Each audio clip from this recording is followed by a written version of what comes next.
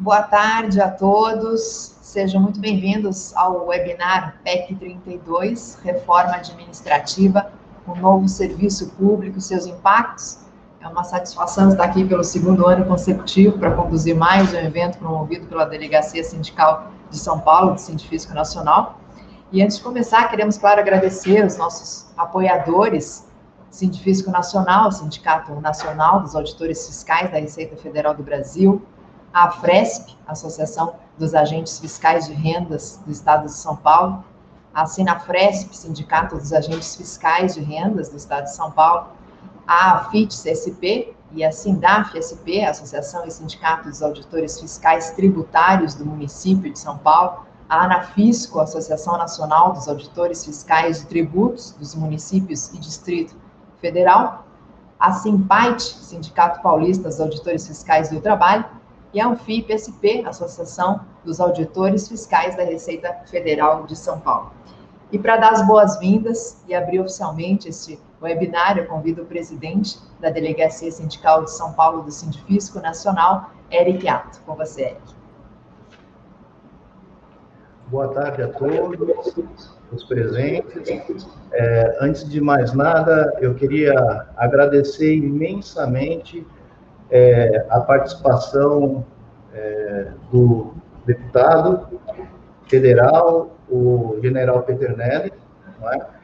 é? agradecer também a participação do doutor Luiz Alberto dos Santos, né, consultor legislativo do Senado, que vai nos abrilhantar aqui. Ambos vão é, discorrer sobre a reforma e, e, eu acredito que seja um passo muito importante é, para esclarecimento de todos e, e, a gente acredita muito no, no deputado, no, no, general, não é? na, na, na vontade de construir um, um país melhor, né? E, e, principalmente em abrir a cabeça até para promover alguma mudança que possa ser efetiva na reforma administrativa que está sendo posta e, a princípio, parece ser é, um pouco demasiada para o servidor público. Né? A gente sempre tem que ponderar, quando, se trata de é, das reformas que estão sendo apresentadas ao Estado, né, principalmente quando a gente aborda a questão do ajuste fiscal é, do, do, nosso país. Né? A gente vive num país é, em que se produz muita riqueza, acredito que a gente seja o nono, ou décimo, ou oitavo PIB do mundo, não é? E, ou, e um país também que, infelizmente, é o segundo maior em concentração de renda. Ou seja, toda a riqueza produzida pelo país, muitas vezes não fica na mão do cidadão, não é? e acaba ficando concentrada no poder de poucos. E a gente tem que fazer essa reflexão quando a gente vai trabalhar com, com ajuste fiscal, porque é, se passamos por um momento hoje é, de necessidade de toda a sociedade dar suporte aos gastos que aconteceram por conta da pandemia e até por, por, por pela, pela, questão econômica antes da pandemia, não é? É que todas os, o, é, as entidades e, e, organismos né, da sociedade civil que dê contribuição. E, e, é importante refletir, se a gente quer desenvolver o país, aonde que a gente quer, é, é, quem pode mais contribuir não é, por esse ajuste fiscal é, e, e, o que pode ser feito. Né? A gente vive num país que não há tributação de grandes rendas, não é? Um, um país que tem como se ajustar é, sobre essa parcela que mais concentra renda no país. Acredito que a gente tem que pensar se não é essa parcela que pode contribuir com o ajuste fiscal nesse momento. É, e, e, e também nessa mesma premissa, é importante a gente destacar que é importante melhorar o serviço público, é óbvio. Isso é, há necessidade de uma reforma administrativa para o serviço público melhorar. Agora, é, tem algumas premissas do serviço público que faz que, que na verdade, visam a, a, a, a perpetuação do serviço público, a continuidade do serviço pro, pro, é, proporcionado numa nação de tanta desigualdade. É? Uma nação tão desigual precisa muito do serviço público, porque a gente tem uma parcela enorme da população que não tem condição de, de ter acesso à saúde, é, de ter acesso a uma é, instrução particular, não é? Então, a gente precisa melhorar a educação no país, precisa melhorar o sistema de saúde no país e precisa melhorar o país como um todo.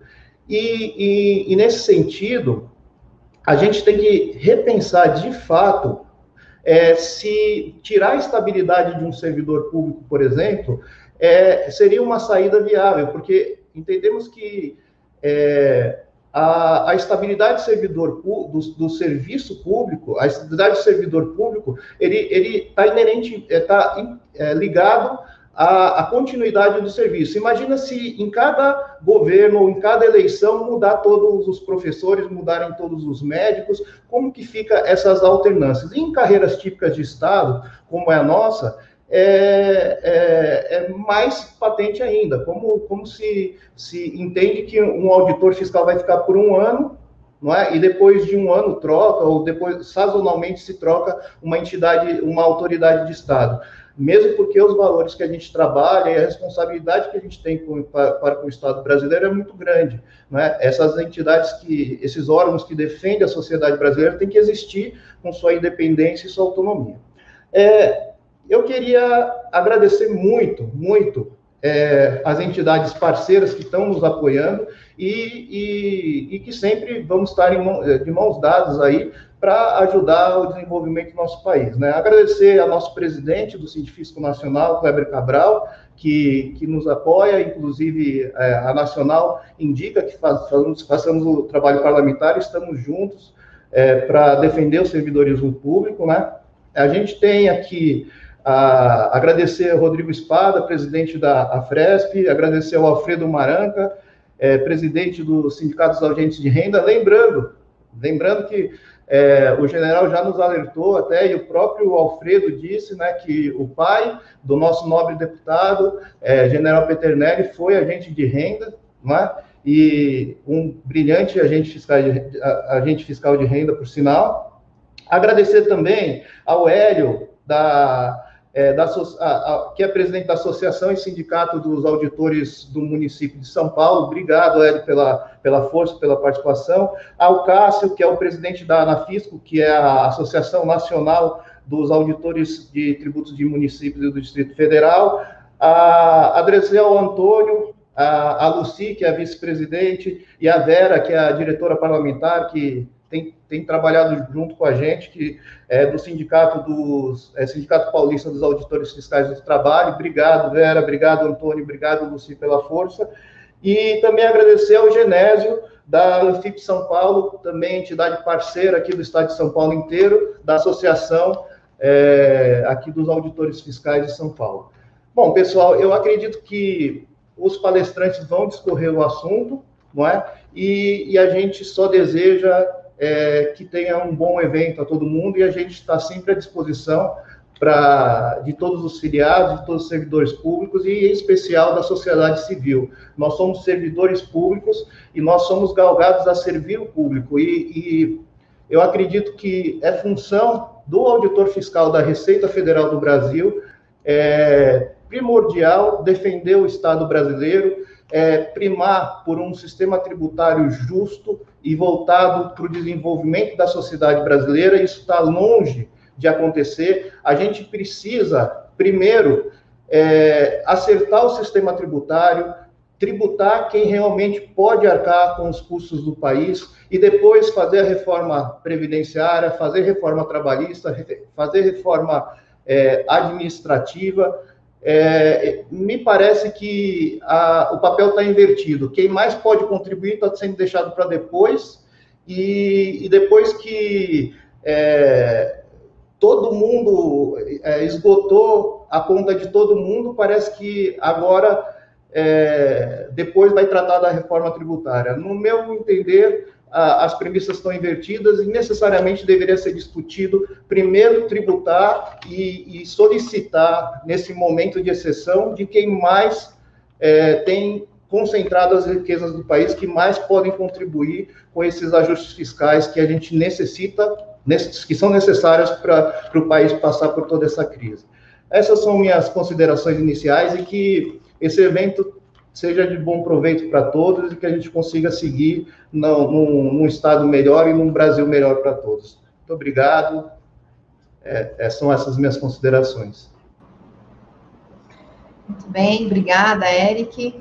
E agora sim, a gente vai dar início às nossas, nossas atividades. Nós teremos três blocos de debates. Vamos iniciar com o primeiro bloco, que traz o tema o conteúdo da PEC e o novo serviço público, regime jurídico, estabilidade de carreiras e cargos frente aos novos tipos de vínculos propostos para a primeira apresentação sobre esse tema do primeiro bloco, eu convido aqui com muita satisfação a esse webinar o deputado federal pelo PSL, Partido Liberal Social, General Peternelli. Já muito bem-vindo.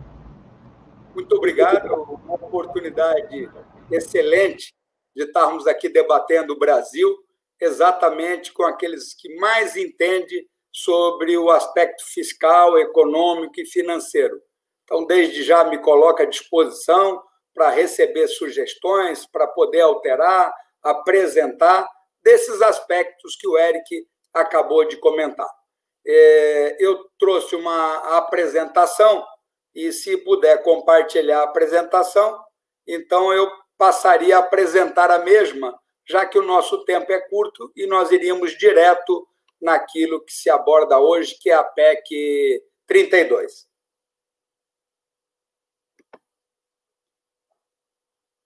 Pergunto se já está compartilhada a tela.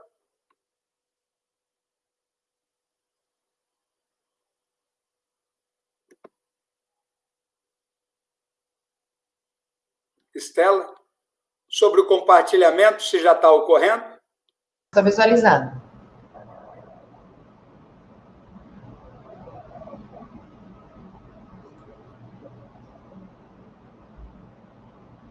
Está ok o compartilhamento da tela, Estela?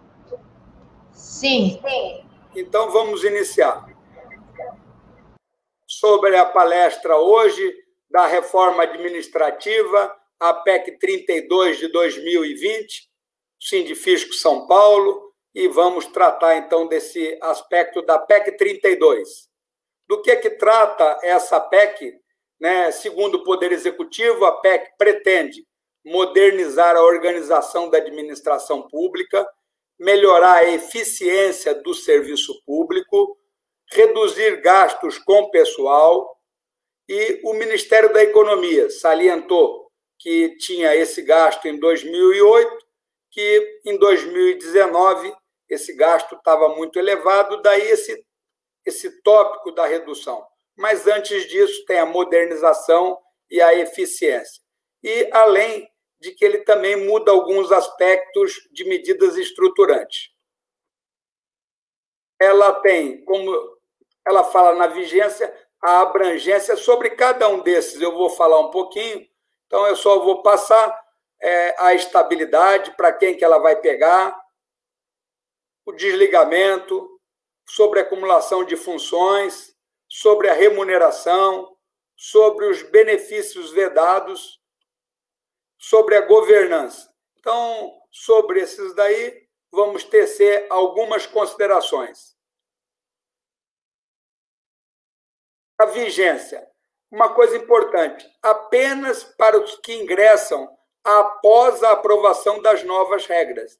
Então, não mexe né, nesses aspectos de estabilidade com os servidores atuais. Isso daí, como é a fonte dela, é o Senado Federal, provavelmente foi o Luiz Alberto e a equipe quem, quem preparou esse contexto. O foco é servir, razão de existir do governo é servir a população, valorização dos servidores, agilidade e inovação, eficiência e racionalidade, melhores resultados em menos tempo e com menos custos. E aqui é que nós vamos então para o segundo tópico da abrangência ele abrange todos os poderes legislativo, executivo e judiciário de todos os entes da federação. E tem aí, novamente, essa abrangência a quem ele vai buscar, e é importante nesse caso. Para os servidores atuais, não muda nada. E não vale, por enquanto, a proposta, isso pode ser alterado por proposta, mas dentro do que prevê a legislação, não poderia a ação do executivo inserir é, atos sobre outros poderes. Então, ainda aí no nosso último tópico, está dizendo que não abrange os parlamentares, juízes, desembargadores, ministros de tribunais superiores, promotores, procuradores e também não está vinculado ao contexto dos, dos militares. Vou abordar em alguns pontos sobre esse contexto dos militares. A fonte é do Senado Federal. O ingresso, como é que vai ocorrer? Não altera, é por concurso público para dois casos: para as carreiras típicas de Estado, que não estão definidas quais são, e também para a, o servidor por prazo indeterminado. Ainda nós teríamos um processo seletivo simplificado para aqueles servidores temporários. Eu tive a oportunidade já de conversa, né, comentar sobre o Exército. Quando fala do temporário, tem sempre uma reação, e eu gostaria de comentar que o Exército Brasileiro, mais de 60% são temporários. O soldado é temporário, o oficial R2 é temporário, o oficial médico R2 é temporário. Nós temos uma série de pessoas que são a base da pirâmide, ela é temporária. E tem uma parcela que trabalha junto com essa base, mas que tem um plano de carreira mais acima.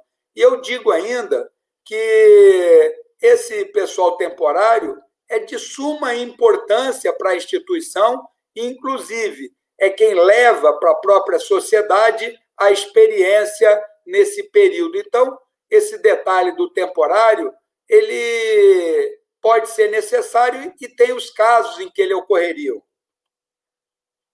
O recurso humano, ele pode ser também requisitado sem concurso, mas depende de lei. Nós vamos verificar que várias coisas dependeriam de uma legislação.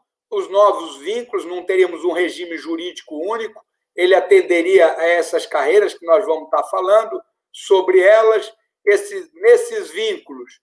Nós teríamos lá um vínculo de experiência, é o final do concurso público, para um é um ano, para outro dois anos, no mínimo, e nós teríamos o vínculo por prazo determinado.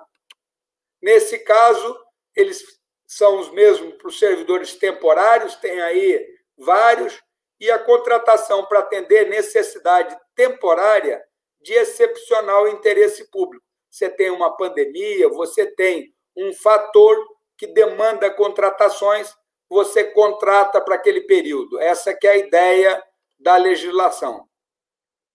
Ele, por prazo indeterminado, seria basicamente como está atendendo os servidores é, efetivos atuais. A nomeação ocorre também por concurso público. O cargo típico do Estado ainda não está definido quais as carreiras que pertenceriam a, a esse cargo típico de Estado. É uma nova categoria, né, reunirá diversas categorias do serviço público a ser definida em lei complementar. Então, a PEC ela só vai abordando essas possibilidades. E ele cria ainda um cargo de liderança e assessoramento. Então, com isso, nós teríamos o funcionário de prazo indeterminado, temporário, o caso típico de Estado e o cargo de liderança e assessoramento. Isso daí, as atuais funções seriam extintas, vários cargos atuais, e transformado nesse contexto. Quem vai exercer essa função? A parte estratégica, a parte gerencial e a parte técnica da atividade. Eu vou correr, porque o meu tempo é curto. Estabilidade, para os servidores atuais não muda nada, é, para os servidores de tipo de Estado também não, não ocorre alteração, né? não foram definidos ainda. Nós teríamos ainda, em termos de desligamento, para os servidores atuais não altera nada, como diz a Constituição. Só é possível a demissão em três hipóteses. Isso já está previsto pelo PAD, por uma decisão judicial transitada em julgado, por insuficiência de desempenho. Isso não foi regulamentado, apesar de estar na Constituição. Está aí uma boa sugestão de que os fiscais mandem sugestões, propostas, de tal forma que se possa criar um critério para desligamento por insuficiência de desempenho. E a partir da PEC, praticamente não altera, eu sublinhei só o que vai alterar. Uma é a ação transitada em julgado, a outra é a ação proferida por órgão colegiado. Lembrando que a, a prisão em segunda instância, que não é prisão, é para todas as ações administrativas, acho que o nome prisão não é adequada, também vai nessa mesma direção. E aí, aqueles de prazo indeterminado também ocorreria por decisão de colegiado e a critério de administração, mas repara, nos termos da lei, ainda depende de legislação para essa parte. A acumulação hoje é magistério saúde, e hoje pode um funcionário público exercer um cargo privado. Na PEC, as típicas de Estado, ele vê incompatibilidade de acumular com o emprego privado. Pode acumular né, nessa parte de magistério e saúde, mas dentro do cargo público. E para os servidores de prazo indeterminado, não altera, pode acumular com é, um cargo privado. É o mesmo que está previsto na data de hoje. A remuneração, a regra atual, é a responsável de cada ente é, federativo, e pela PEC tem uma lei complementar, repara, é uma outra lei que vai definir algumas regras, e essas regras seriam complementadas e reguladas no âmbito de cada ente federativo, cumprindo aí os aspectos de federado. Isso, os benefícios vetado, vedados pela PEC 32, férias superiores a 30 anos, incluindo os recessos, isso já passaria a valer para todos. Ah, os adicionais de tempo de serviço, o aumento de remuneração ou de indenização com efetivo retroativo, fica proibido retro, fazer retroativo, a licença prêmio ou qualquer outra decorrente apenas de tempo de serviço. Na União já não tem mais a licença prêmio. Isso está aí mais tentando abranger estados e municípios que também têm situação é, financeira econômica complicada. A redução de jornada, se ocorrer, ela deve ocorrer com redução. A aposentadoria compulsória como punição não pode ocorrer mais é o que ocorre em alguns casos, todos nós compreendemos.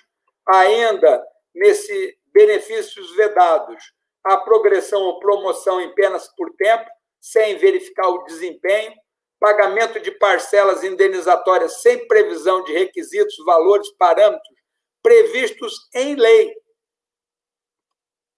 incorporação de remuneração de cargo em comissão ou função é, comissionadas à remuneração de cargo, pagamento de retribuição por cargo em comissão ou função de confiança ou horário, é, se a pessoa se afastou, está licenciada, né? fora esses casos previstos na lei. Então, não acompanha essa gratificação, que parece muito justo esse contexto. A governança é um, tem um estímulo à cooperação entre as atividades, ele dá um pouco mais de autonomia para a gestão do executivo na área que compete ao executivo, e aí tem o tópico que aborda essa autonomia.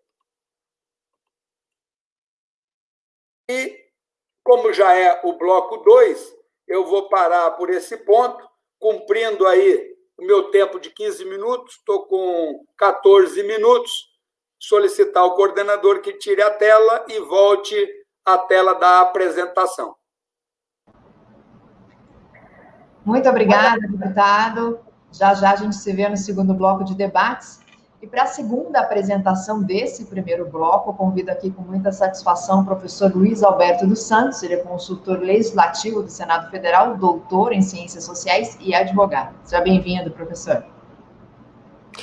Muito boa tarde a todos e a todas. Mais uma vez, é uma satisfação participar de um evento promovido pelo Sindifisco São Paulo E meus cumprimentos ao Eric Rato e à nossa moderadora Estela, que tem aí o desafio de me enquadrar no curto tempo de 15 minutos para fazer a minha apresentação. Mas como o general uh, Peternelli, o deputado-geral Peternelli, abriu mão de alguns minutos, eu acho que eu vou fazer um uso capião dos minutos que ele não utilizou. Eu vou também utilizar uma apresentação que eu espero possa contribuir para facilitar essa nossa, essa nossa abordagem. Então, vamos, vamos tentar rapidamente aqui é, compartilhar. Todos estão vendo a minha tela?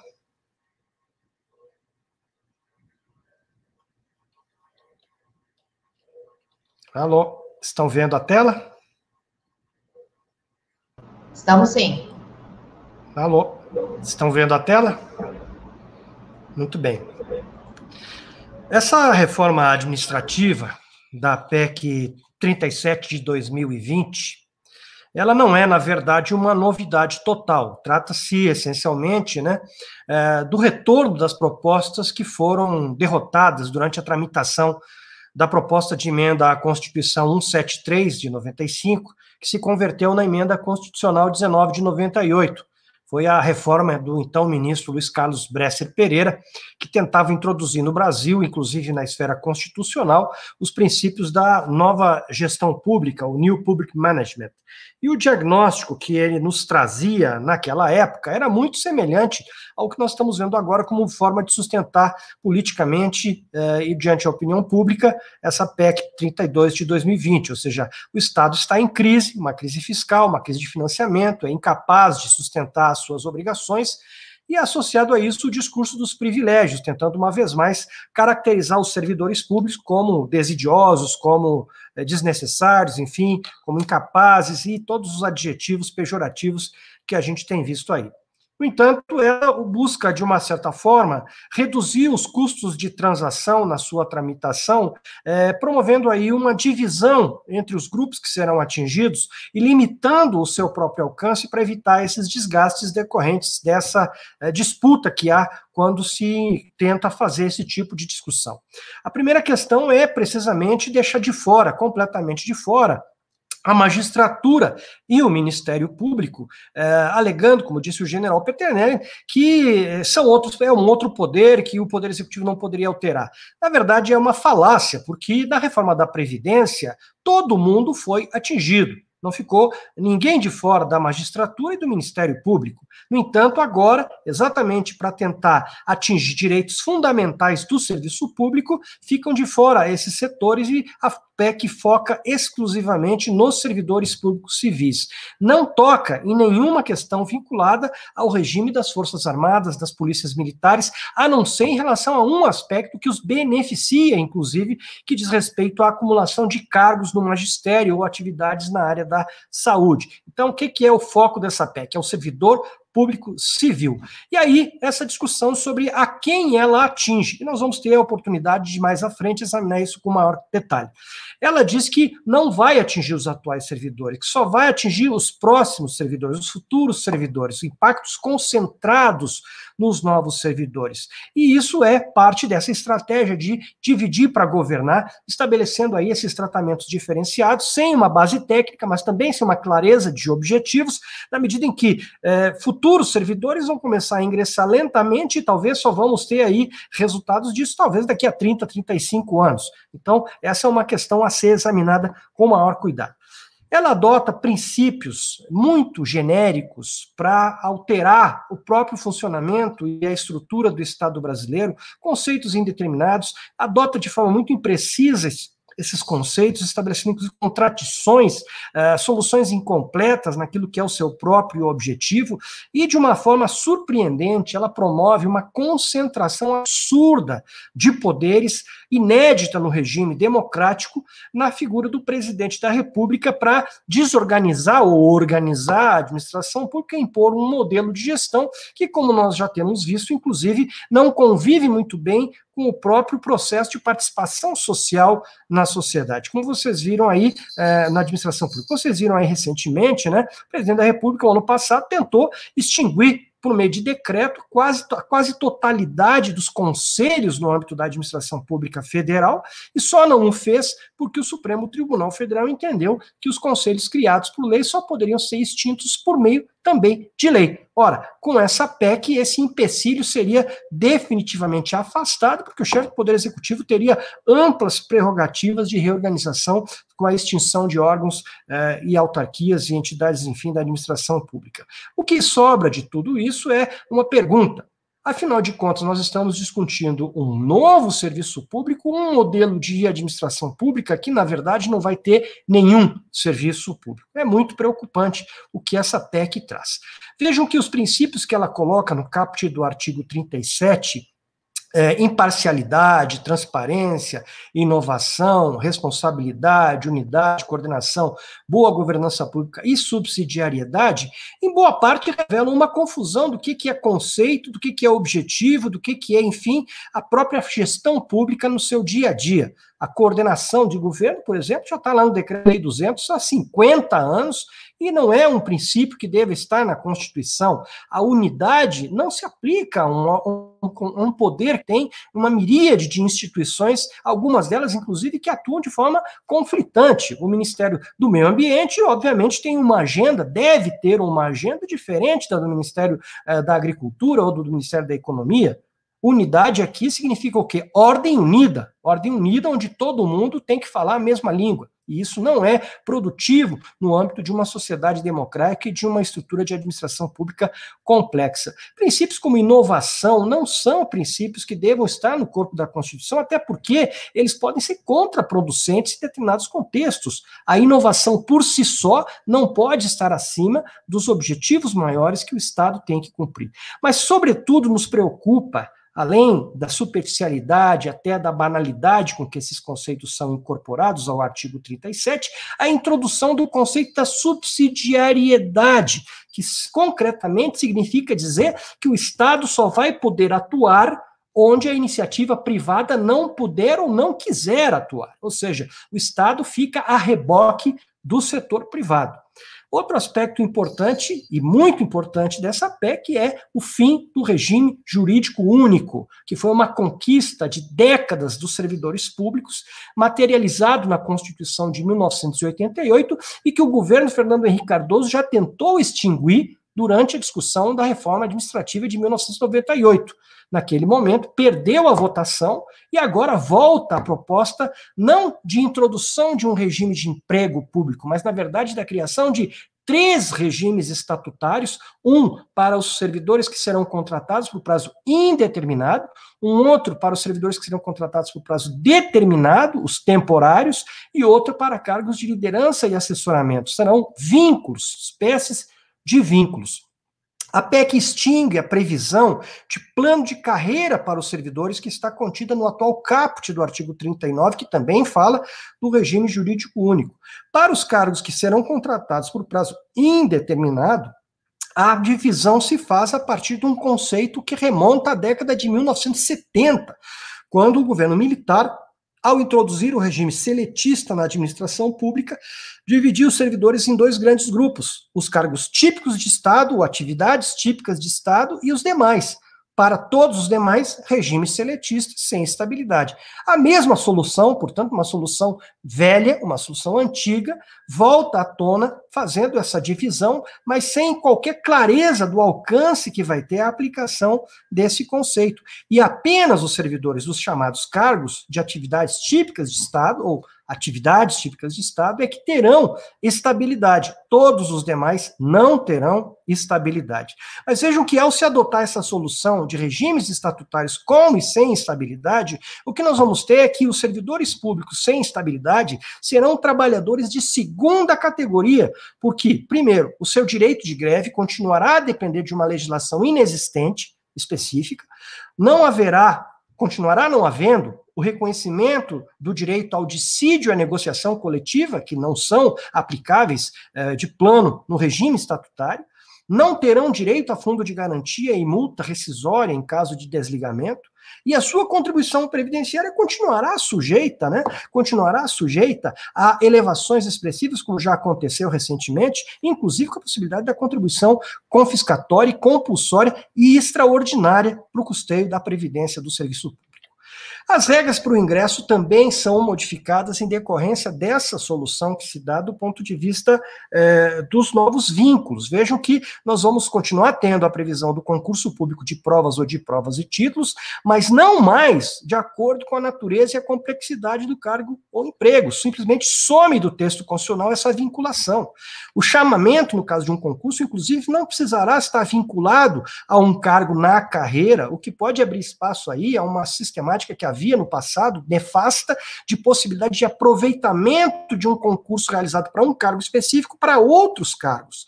O ingresso vai se dar na forma de um vínculo de experiência, ou seja, o servidor vai ser é, contratado, entre aspas, para um período de experiência que vai ser de um ano para os cargos em geral e dois anos para os cargos de atividades típicas de Estado, durante o qual ele vai ficar totalmente à mercê da chefia.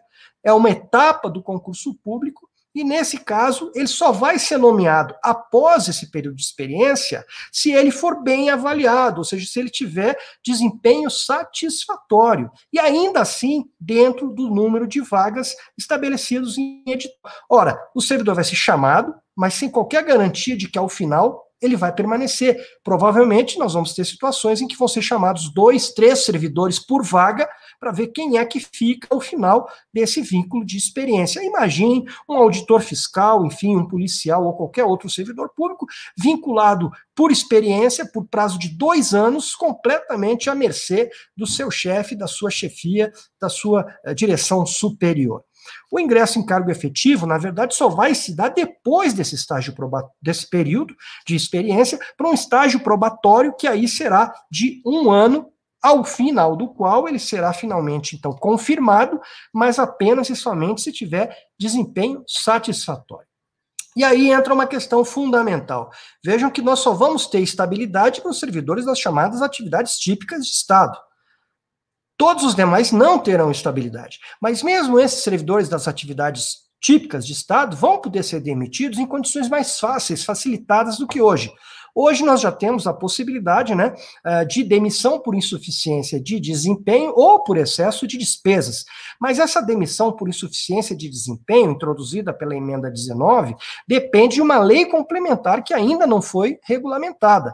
Ora, depois da PEC 32, não precisará mais de lei complementar. Uma simples medida provisória poderá disciplinar essa possibilidade de demissão, além né, daquilo que nós já temos, que é a demissão por excesso de despesas. Essa preocupação com o tipo de norma que vai reger essa matéria diz respeito precisamente à própria flexibilidade com que essa matéria será tratada. Uma lei complementar, obviamente, dá muito mais segurança aos servidores e uma medida provisória que produz efeitos desde a sua vigência, claro que coloca um enorme grau de insegurança jurídica em relação a isso.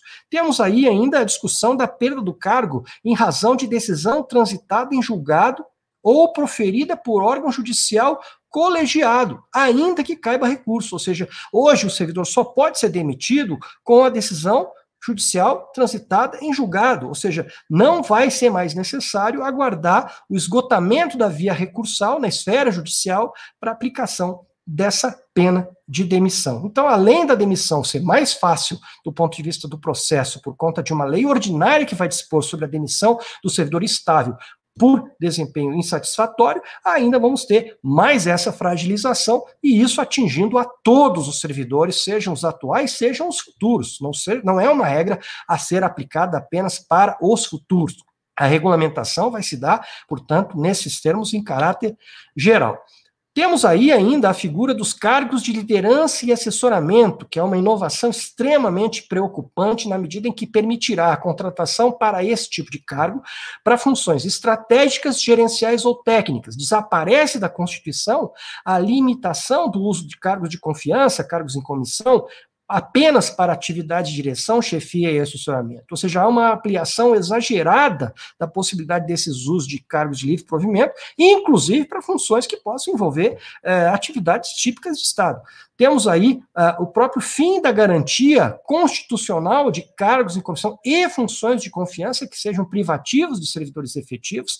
Revoga-se, isso é um absurdo, o parágrafo 2 do artigo 39, que prevê que a formação e uh, o aperfeiçoamento dos servidores deve se dar por meio de escolas de governo, e, pasmem, coloca-se no texto da Constituição uma admissão implícita da possibilidade de motivação político-partidária para o desligamento de, de, cargos de confiança, o que hoje, é, ainda que ocorra, não há como dizer que isso seja previsto na Constituição. Então, implicitamente, isso vai estar lá, porque só nos demais casos é que não vai ser permitida essa motivação. Ou seja, se nos demais casos não pode, é porque nesse pode.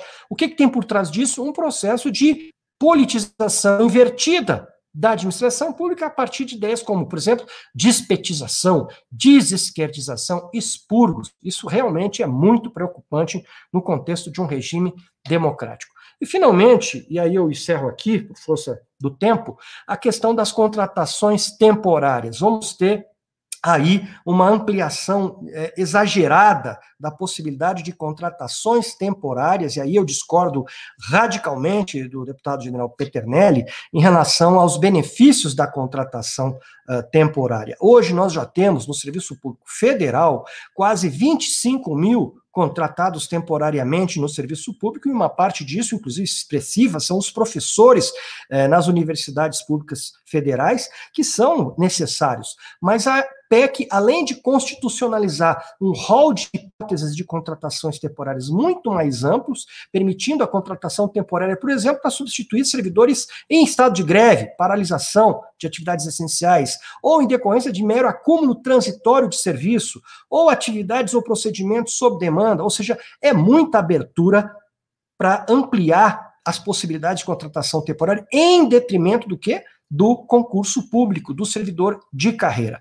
Ademais, nós vamos ter os contratos de gestão como uma porta de entrada ilimitada para as contratações temporárias, a partir da nova redação que é dada no artigo 37, parágrafo 8, que prevê as possibilidades de autonomia através do contrato de gestão, envolvendo contratação de pessoal, compras e contratações, e a própria limitação uh, orçamentária por meio de um orçamento global e aí, o artigo 37A, que é introduzido, passa a prever, especificamente, inclusive, a possibilidade da utilização desses instrumentos de cooperação com órgãos e entidades públicos ou privados, como são as chamadas organizações sociais, para execução de serviços públicos, inclusive para fim de contratação de pessoal. É a validação constitucional do modelo de organizações sociais que tantos problemas têm apresentado, inclusive em estados como Rio de Janeiro, Janeiro e outros, em que a corrupção entrou pela porta da frente através das organizações sociais, ressalvado aqui o uso dessas possibilidades de contrato de gestão com instituições dessa natureza para as atividades é, típicas de Estado. Então vejam que é uma PEC que nos preocupa enormemente a partir dessa modificação estrutural que ela faz, é, eliminando praticamente a estabilidade no serviço público e vulnerando princípios fundamentais da organização administração é, do Estado brasileiro.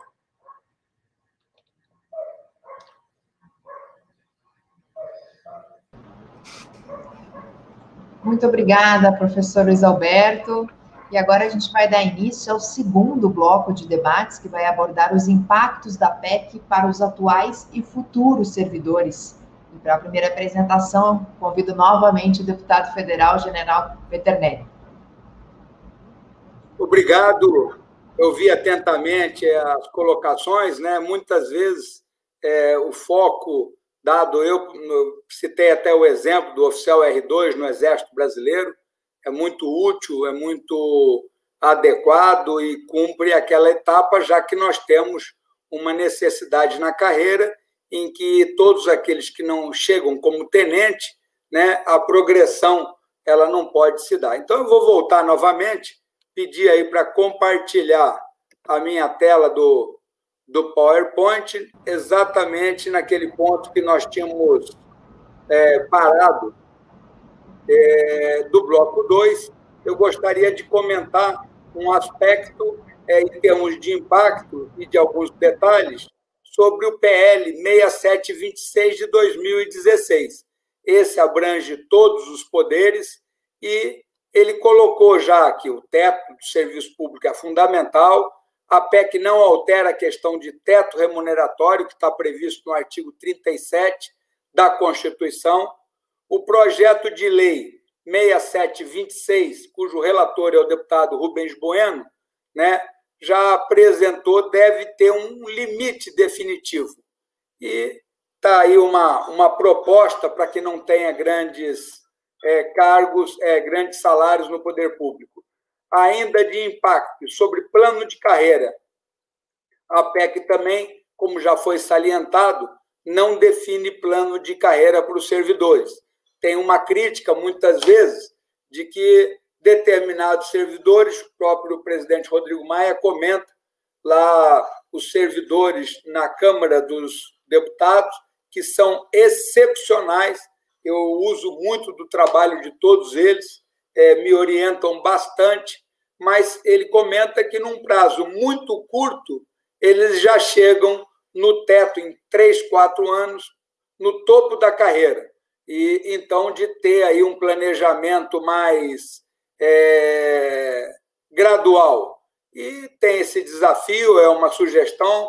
Nós já apresentamos uma ideia de que eventualmente poderia ter sete níveis, com tempo de cada um em termos de cinco anos, tendo a capacitação permanente né, a elaboração de uma política de desenvolvimento vinculado a essa escala remuneratória, eu vejo que não precisa ser só numa escola de Estado, nós temos lá a ESAF, e pode ser complementada em outros institutos, é o que o Exército faz.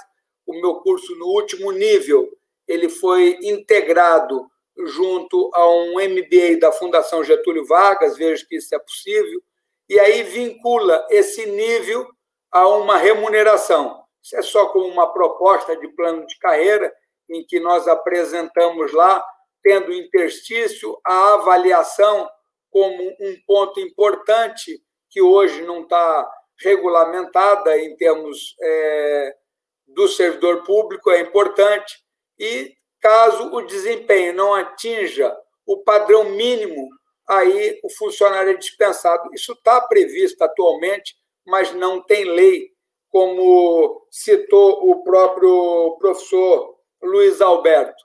Aí já agregamos o expertise naquela proposta. A PEC 32, a capacitação é, norteando o desenvolvimento da carreira, uma previsão de adicionais, e aí colocamos que, conforme o funcionário, né, o auditor fiscal, ele também vai executando cursos, pode ter um adicional de qualificação no seu salário, é, complementando as suas atividades.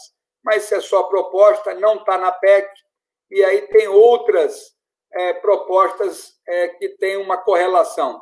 O, a, nós temos aí a emenda Constituição 95, que trata do teto de gastos, né? a necessidade de manter o teto de gastos, né? eu vejo que é importante, esse contexto, eu defendo o teto de gastos. Nós também temos aí um crescimento, é bom nós estarmos salientando, um crescimento dos gastos da Previdência, segundo os próprios técnicos do Congresso e do Executivo, é, num ritmo de 3% ao ano, mesmo após a reforma da Previdência. Nós temos aí um esmagamento progressivo de despesas com investimento público.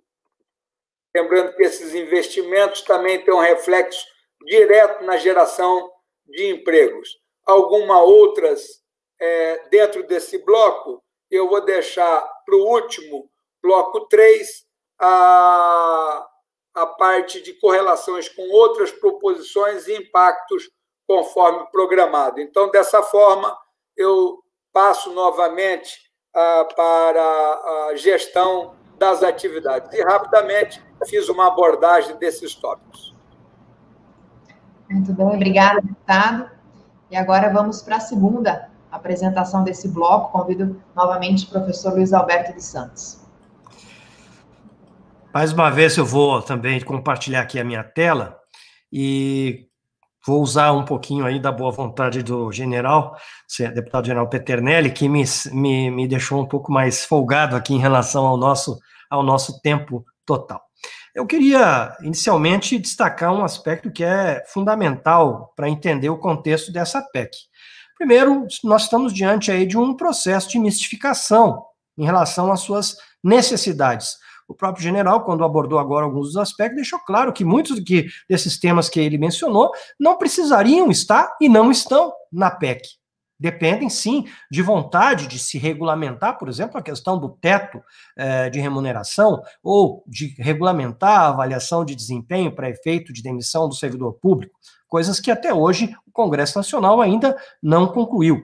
Mas em relação à PEC propriamente dita, o governo tem utilizado dados extremamente distorcidos, e quando o próprio general Peternelli citou lá no início da sua apresentação o argumento do governo do aumento da despesa de 44 bilhões para 109 bilhões com o pessoal em 12 anos, ele deixa de considerar nessa conta a inflação desse período. Ora, se nós considerarmos a inflação do período, a depender do índice que nós utilizemos, esse aumento, na verdade, o aumento real foi de apenas entre 26% e 30% vai depender do índice de inflação. Ou seja, nós não tivemos um crescimento explosivo da folha de pagamentos eh, do governo federal. E aí, vejam, considerando o pessoal ativo, que é aquele que recebeu os maiores aumentos, em vista, inclusive, da discriminação que houve em relação aos aposentados. Se nós examinarmos a evolução da despesa com pessoal, e aí é um, é um dado muito importante para a gente entender como é que se dá o crescimento desse gasto, nesses últimos 20 anos, nós não tivemos uma elevação expressiva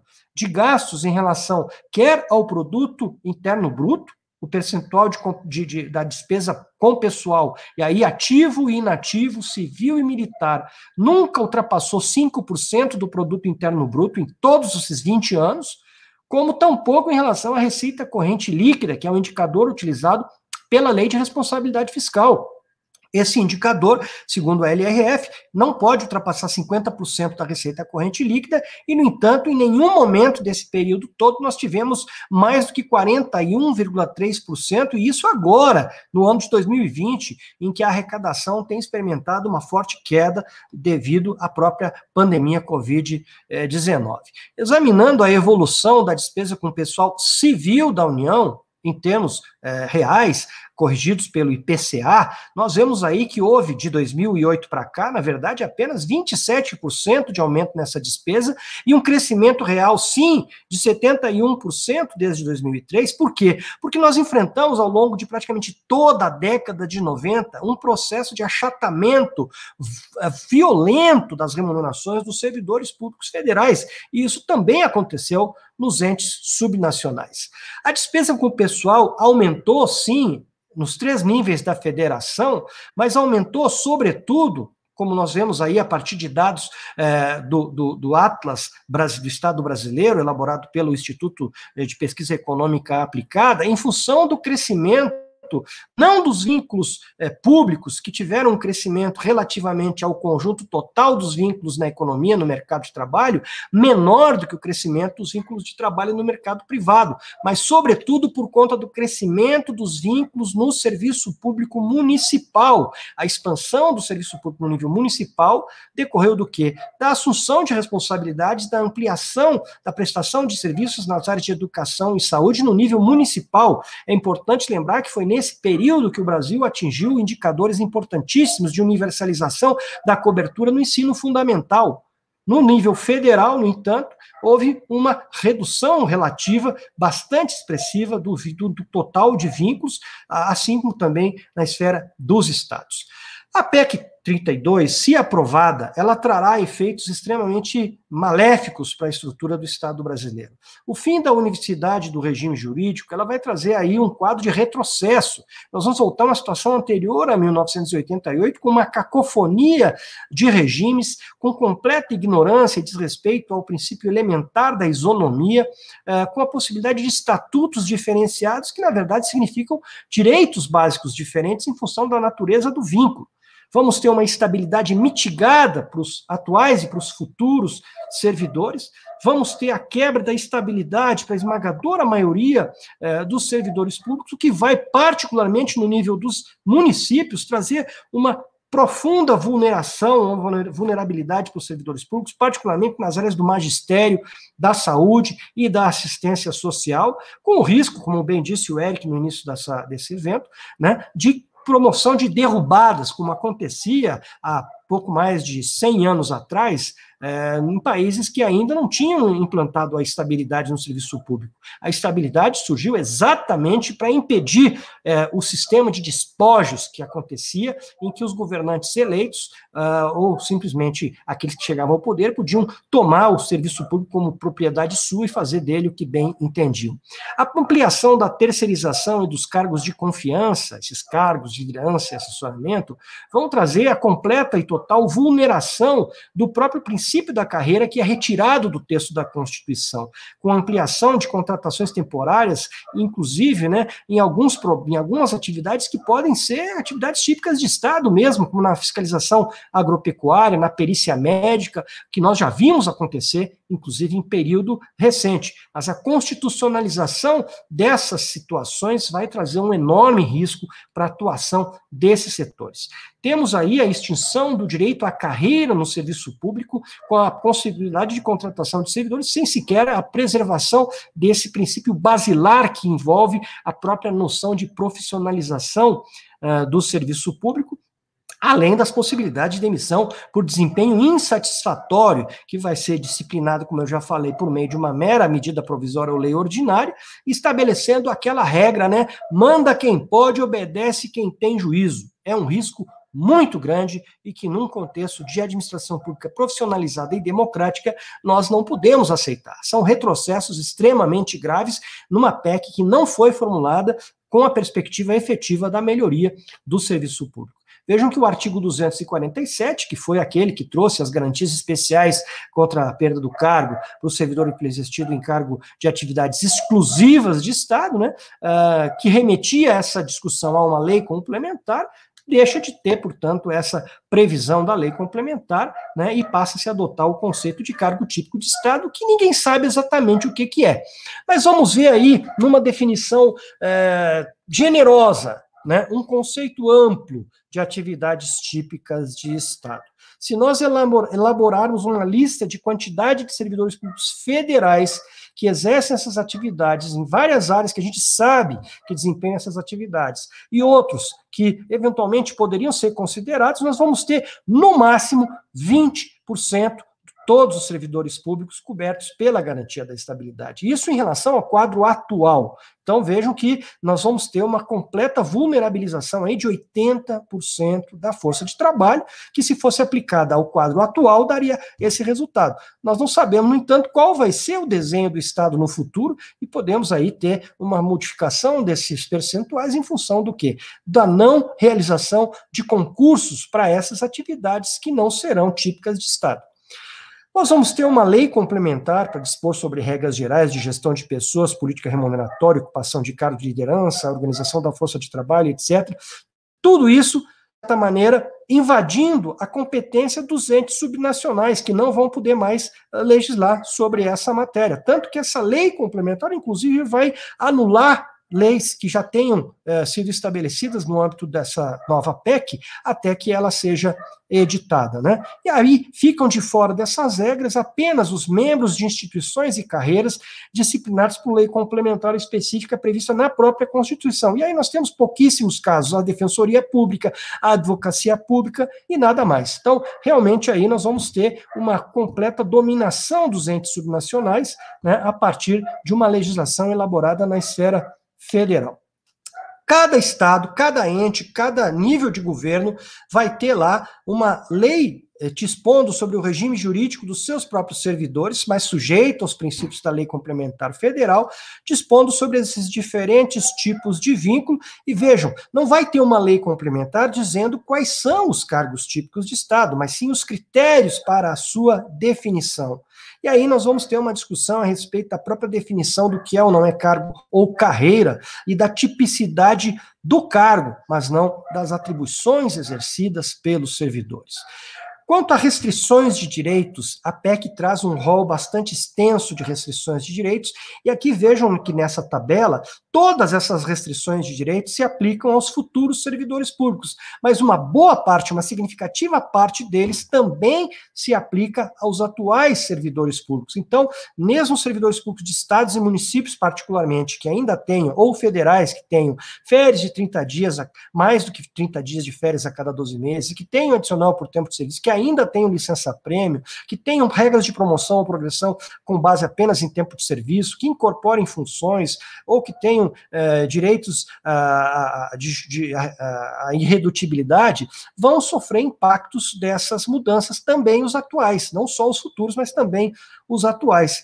E aí surgem algumas questões. Aposentadoria compulsória como punição. Bom, isso já foi objeto da emenda da reforma da Previdência. Incorporação de vantagens de cargo de confiança também já foi proibido pela reforma da Previdência. Então, qual é o sentido de voltar isso? Parece que quem fez essa PEC sequer leu, sequer leu a emenda constitucional é, número 103, a, a reforma da Previdência. Né? A perda da estabilidade, sim, ela se aplica para os futuros servidores que já vão ingressar sem ela, mas as regras para a perda do cargo, a demissão do servidor estável, serão aplicadas a todos eles, assim como os efeitos de congelamento remuneratório decorrentes da própria eh, discussão de outras matérias, como nós vamos ver mais à frente. Temos ainda uma, uma regra de restrição ao direito a afastamentos considerados como efetivo exercício, que, ainda que possa parecer razoável, é preciso examinar com cuidado, porque isso pode prejudicar licenças para atividade política, mandato sindical, licença capacitação, licença prêmio, tratamento de saúde, num âmbito nacional, não apenas no âmbito federal, mas para todos os níveis da federação. E aí, esses afastamentos não vão poder ser considerados é, para efeito de pagamentos de bônus honorários, parcelas indenizatórias, gratificações de exercício ou qualquer parcela que não tenha caráter permanente. Ou seja, o servidor que entrar numa dessas licenças poderá sofrer de imediato uma redução remuneratória. E, finalmente, o Poder Executivo vai dispor de plenos poderes para definir por decreto a organização e funcionamento da administração pública. E vejam que não são, não é só o presidente da República, não. Governadores e prefeitos também vão poder fazer isso. Nós já tivemos agora a aprovação de uma lei complementar, a Lei Complementar 173 de 2020, que estabeleceu até 31 de dezembro de 2021 limitações muito fortes aos entes subnacionais, mas também ao governo federal, em relação a congelamento de remunerações e proibição de contratação de pessoal. Essa lei que hoje a gente pode claramente dizer que ela tem severa inconstitucionalidade ali, por invadir essa capacidade de autoadministração dos entes, ela vai ser legitimada, porque nós vamos ter aí uma concentração de poderes na esfera federal a partir da, do fim da reserva de lei, além da possibilidade de legislação complementar federal para dispor sobre vários temas, mas o fim da reserva de lei para extinguir cargos, extinguir, transformar ou fundir órgãos e entidades, inclusive autarquias, criar novos órgãos, desde que não haja aumento de despesa e transformar cargos e, inclusive, alterar as atribuições de cargos, desde que não haja supressão da estrutura da carreira ou alteração de remuneração e requisitos de ingresso. E aí só, for, só ficam de fora disso, mais uma vez, os cargos típicos de Estado. É muito poder na mão de um chefe do Poder Executivo que vai solapar a capacidade do próprio Poder Legislativo de evitar excessos, de evitar abusos. E nós temos visto a importância que tem o papel do Poder Legislativo para refrear certos ímpetos, quando, por exemplo, rejeita ou não aprova ou não vota uma medida provisória, ou quando altera as propostas do chefe do Poder Executivo. Mas à medida em que ele tenha essa capacidade de fazê-lo por decreto, não vai haver sequer mais a possibilidade eh, de se recorrer ao Supremo Tribunal Federal. E, finalmente, não podemos deixar de falar da gravidade da alteração que é feita ao artigo 173 da Constituição, quando se estabelece a limitação ao Estado de instituir medidas que gerem reservas de mercado que beneficiem agentes econômicos privados, empresas públicas ou sociedades de economia mista.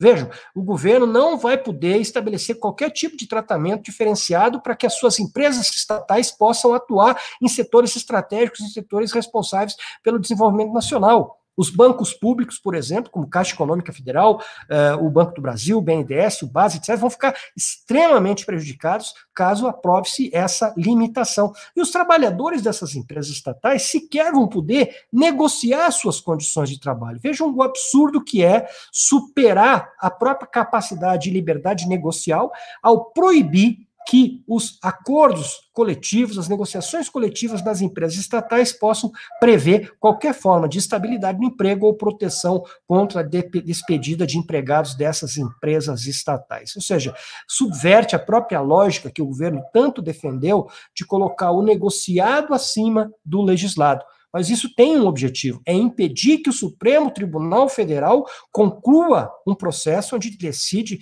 deverá decidir exatamente se é ou não válida a demissão uh, de trabalhadores de empresas estatais que prestam serviço público sem motivação. Então vejam a quantidade de absurdos que esta PEC traz, com efeitos extremamente graves e perversos uh, para o conjunto do serviço público.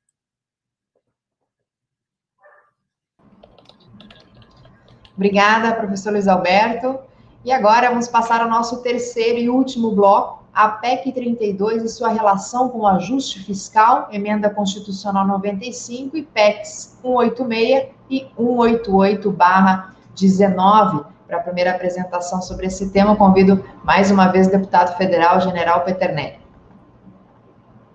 Obrigado. Então vamos para mais essa etapa, porque muitas das coisas, como disse o professor Luiz Alberto, muitas das atividades é, já existem e, eventualmente, dependeria de uma regulamentação.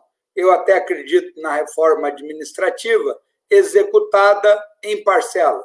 O teto é uma delas e, aos poucos, vai se buscando, inclusive a própria regulamentação dessa de você dispensar por insuficiência. Então, vou voltar a mostrar a palestra.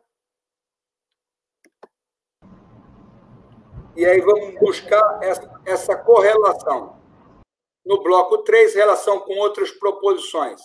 Eu gostaria de citar essa APEC emergencial, que inclusive é um, é um dos objetivos é, lá da Câmara dos Deputados, e ela trata é, do gatilho ativado se a despesa corrente superar 95% da receita corrente.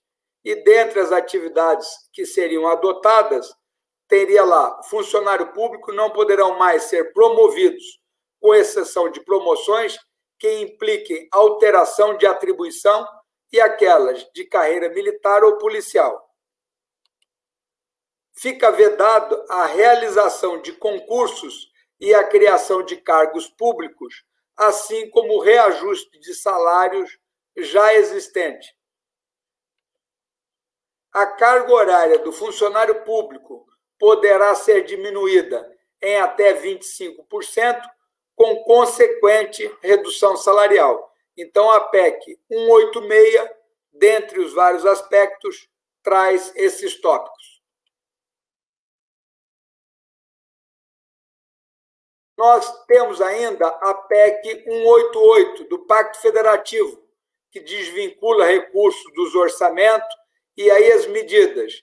Possibilita a redução dos vencimentos dos servidores, corte de cargos de confiança e uma proposta que eu fiz em termos de pacto federativo, ela diz respeito à emenda substitutiva número 20, a PEC 45, que ela é da reforma é, tributária em que você já distribui para os entes federativos de uma maneira simples e simplifica impostos. uma observação importante nesse contexto. O artigo 169 da Constituição já estabelece a despesa com pessoal ativo e inativo da União, dos estados, do Distrito Federal e dos municípios não poderá exceder os limites estabelecidos em lei complementar. Essa lei complementar é da responsabilidade fiscal, a 101 de 2000. Para cumprimento dos estabelecidos nesses, a União, estados e municípios adotarão as seguintes providências. Isso já está previsto. Redução em pelo menos 20% das despesas com cargos em comissão e funções de confiança, exoneração de servidores não estáveis, e se as medidas adotadas com base no parágrafo anterior não forem suficientes para assegurar o cumprimento da determinação da lei complementar referida nesse artigo, o servidor estável poderá perder o cargo, desde que o ato normativo motivado de cada um dos poderes especifique a atividade funcional, o órgão, a unidade administrativa objeto da redução de pessoal. Então, nós já temos uma série de legislações que tratam exatamente desses aspectos que nós estamos comentando. Gostaria também, nesse bloco, para concluir que as PECs 186 e 188 elas não inovam. O artigo 16 da Constituição já prevê o corte de gastos e, segundo a Constituição, o ajuste fiscal deve seguir a seguinte ordem: já está previsto corte dos cargos em comissão e das funções de confiança, exoneração dos servidores não estáveis, terceiro, exoneração do servidor estável. Então, isso já tem uma previsão. É importante que eu vejo é a regulamentação, em vez de nós estamos mexendo em muitas coisas, mas para buscar essa eficiência que tanto se fala, vejo que era importante o Congresso realizar a regulamentação da demissão por mau desempenho. E esse de mau desempenho seria analisado, não é num momento, né? Ele vem sendo executado ao longo da carreira até que se tenha a regulamentação, a, o exame daquele funcionário dando efetividade. E também o artigo 41, inciso 3 da Constituição, ele coloca lá que pode ser demitido mediante procedimento de avaliação periódica de desempenho. Então, é essa essa lei complementar que eu acho que seria interessante. Então, repara, nós falamos lá do teto de gasto, acho importante. Acho que é importante realizar a legislação que mede esse mau desempenho com sugestões de toda a sociedade é, brasileira e dos próprios servidores nesse nosso contexto. E a lei complementar, como já foi dito, ela não tem no momento. A demissão por mau desempenho pode trazer e trará com certeza eficiência ao serviço público. Aí eu deixo só os meus dados para que sugestões nessa PEC 32, modificações, observei muito esses aspectos comentados pelo professor Luiz Alberto, vou buscar a palestra, vou pegar a, a, os dados que ele se referiu, né? peço então para encerrar a minha apresentação e comentar que todos esses aspectos que ele abordou, joguei muito importante, devem ser analisados por todos os administradores, né, buscando é, simplificar. E concluo dizendo que o teto seria uma alternativa muito plausível, a regulamentação por mau desempenho, outro ponto importante. E já seriam aspectos para estarem sendo analisados. E as duas PECs, a 186 e a 188, também atenderiam uma série de objetivos. Obrigado. Estela. Obrigada, deputado. E para a segunda apresentação desse último bloco, convido novamente o professor Luiz Alberto de Santos.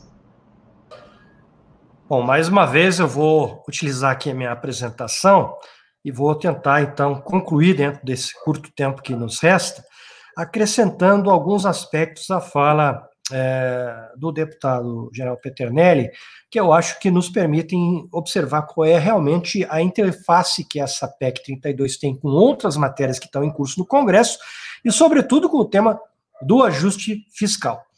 Vejam que o próprio Fundo Monetário Internacional apresenta que de 2012 até 2016, nós tivemos, em relação ao produto interno bruto, uma variação da despesa com pessoal e encargos da ordem de 10% nos três níveis de governo, inclusive ativos e aposentados. E olhem que nós tivemos aí um crescimento bastante expressivo do gasto com aposentadorias e pensões, especialmente no âmbito dos estados. Já em relação a juros e encargos da dívida e subsídios, o aumento em relação ao produto interno bruto foi de 44% na despesa com juros e 48% no que se refere a subsídios. Como os auditores fiscais da Receita Federal do Brasil sabem muito bem, o Brasil é um dos países que tem a maior taxa de gastos tributários da América Latina, e mesmo em relação a outros países o que mostra que nós temos uma péssima gestão dos benefícios fiscais acabam não trazendo ganhos reais para a sociedade, embora impactem profundamente a arrecadação pública. A financeirização e privatização das finanças públicas, ela pode ser muito bem vislumbrada a partir desse, desse gráfico que mostra como aumentou como aumentou a despesa com serviços da dívida pública em relação a outros componentes da despesa pública e, eh, especialmente, quando comparado com a despesa com pessoal e encargos. Os gastos públicos, sim, sofreram uma elevação bastante expressiva, nós tivemos aí, notadamente, a partir de 2003, 2004, um crescimento do gasto social do governo, que foi responsável por avanços importantíssimos na redução da pobreza, né? Mas a despesa com juros e encargos no Brasil, ela é realmente escandalosa.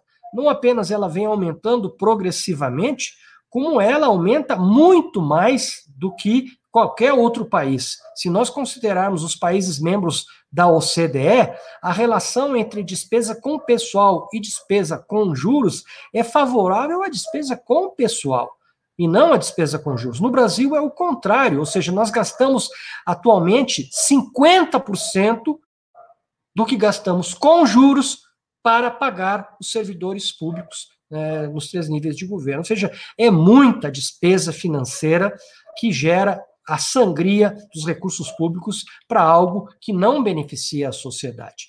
O ministro Paulo Guedes tem enfatizado os eventuais ganhos fiscais que a reforma administrativa traria, e aí os números não são eh, basicamente transparentes.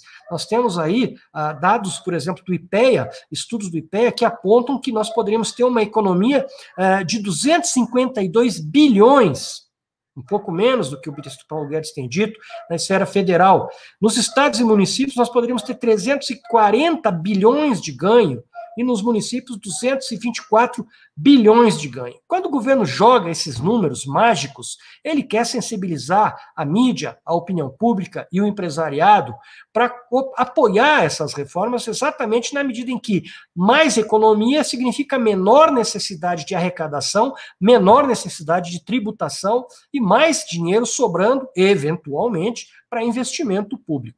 Vejam que, no entanto, nós temos aí um cenário bastante problemático, porque para se chegar a um aumento é, de despesas discricionárias, nós teríamos, na verdade, que cortar praticamente a totalidade do gasto público, particularmente o gasto com previdência e assistência social. O gasto com pessoal, ele tende, nesse cenário, a sofrer uma redução brutal já que eh, as demais despesas não são facilmente é, comprimíveis. Então, as contas, os cálculos é, que são feitos por instituições como a Instituição Fiscal Independente colocam a variável de ajuste precisamente no gasto com o pessoal. Não que esse gasto seja elevado ou exagerado, mas ele é a única variável de ajuste que permite, teoricamente, uma redução no longo prazo ou médio prazo precisamente em função da aplicação da emenda constitucional número 95, a emenda do teto.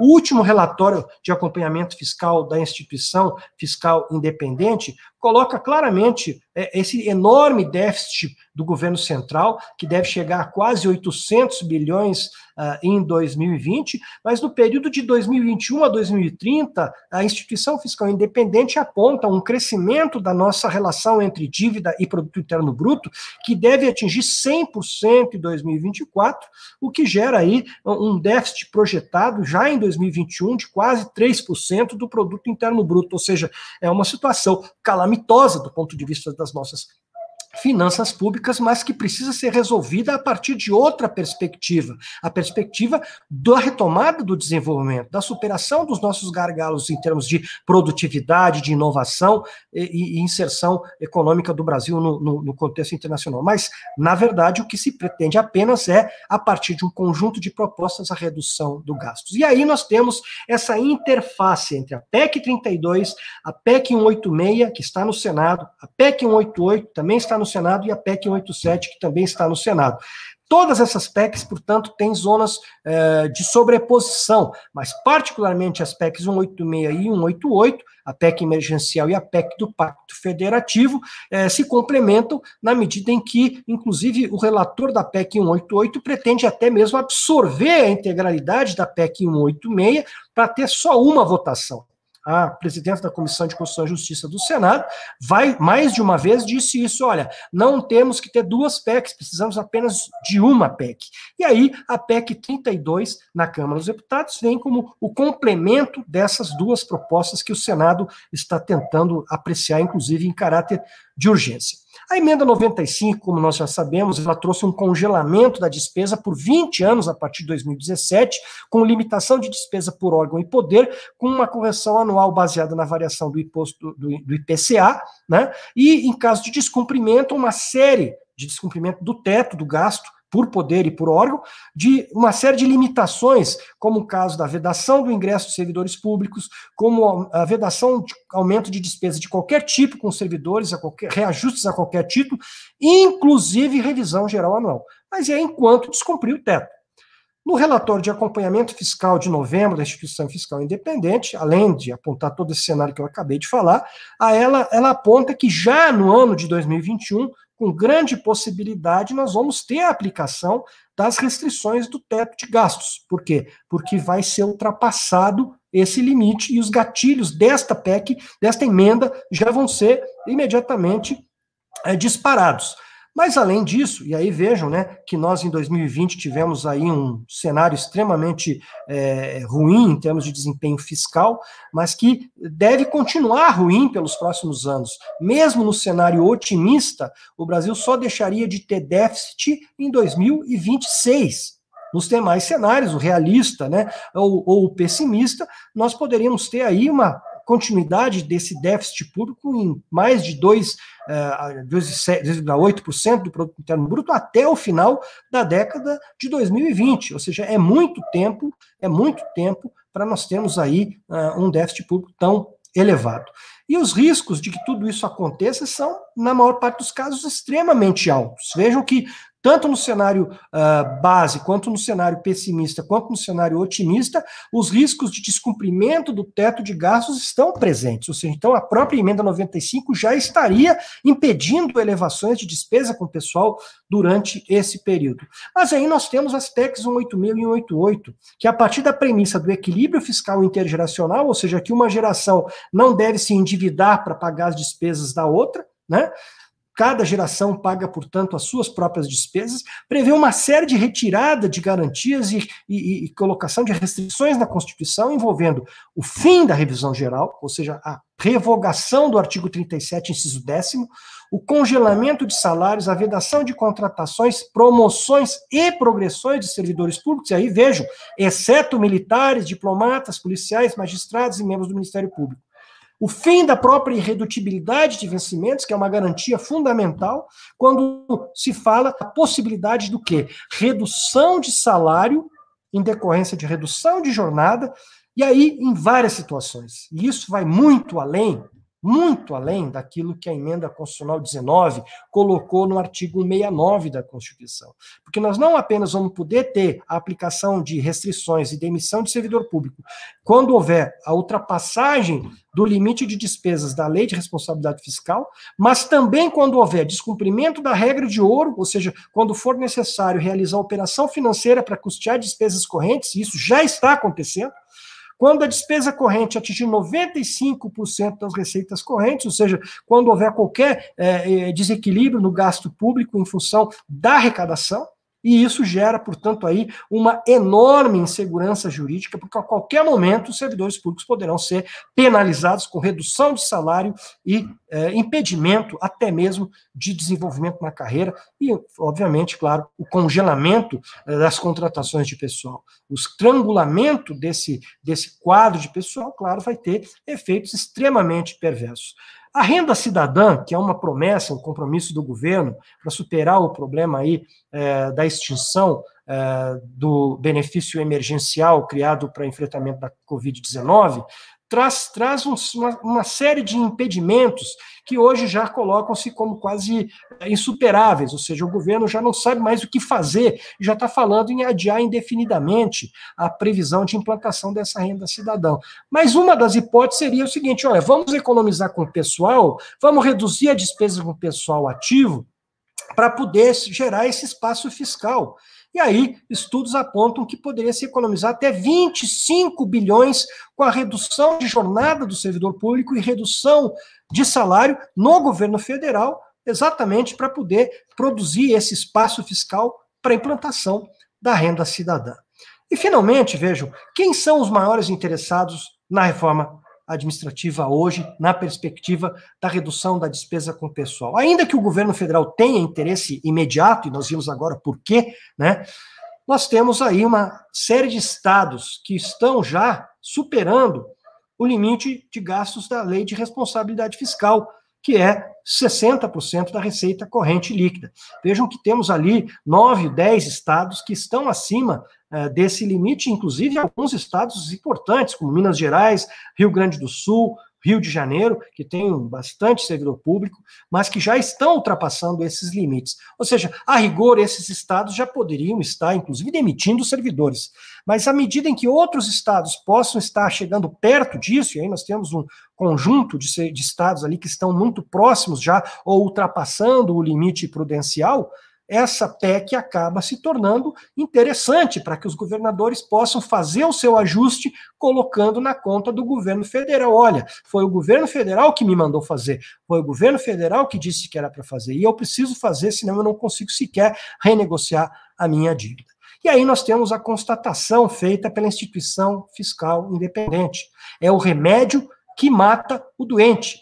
A aplicação cumulativa dos gatilhos da emenda 95 e das PEC 186, 188, vai, obviamente, causar aí uma hecatombe no serviço público. E a própria instituição fiscal independente diz: este ajuste pode não ser viável, pois poderia comprometer programas e políticas públicas essenciais. Imaginem os servidores públicos dos estados nas áreas de educação, saúde, segurança pública e tantos outros sendo demitidos para que sejam cumpridos todos esses limites, tendo seus salários reduzidos, porque realmente isso vai atingir áreas essenciais, as escolas, os hospitais, os postos de atendimento da assistência social, as delegacias de polícia e até mesmo, quem sabe, as próprias polícias militares, porque ninguém vai ficar livre do impacto dramático que vai ter esse ajuste fiscal. Então, nós temos que buscar, sim, soluções. Mas é importante, e aí deixo essa última mensagem aqui,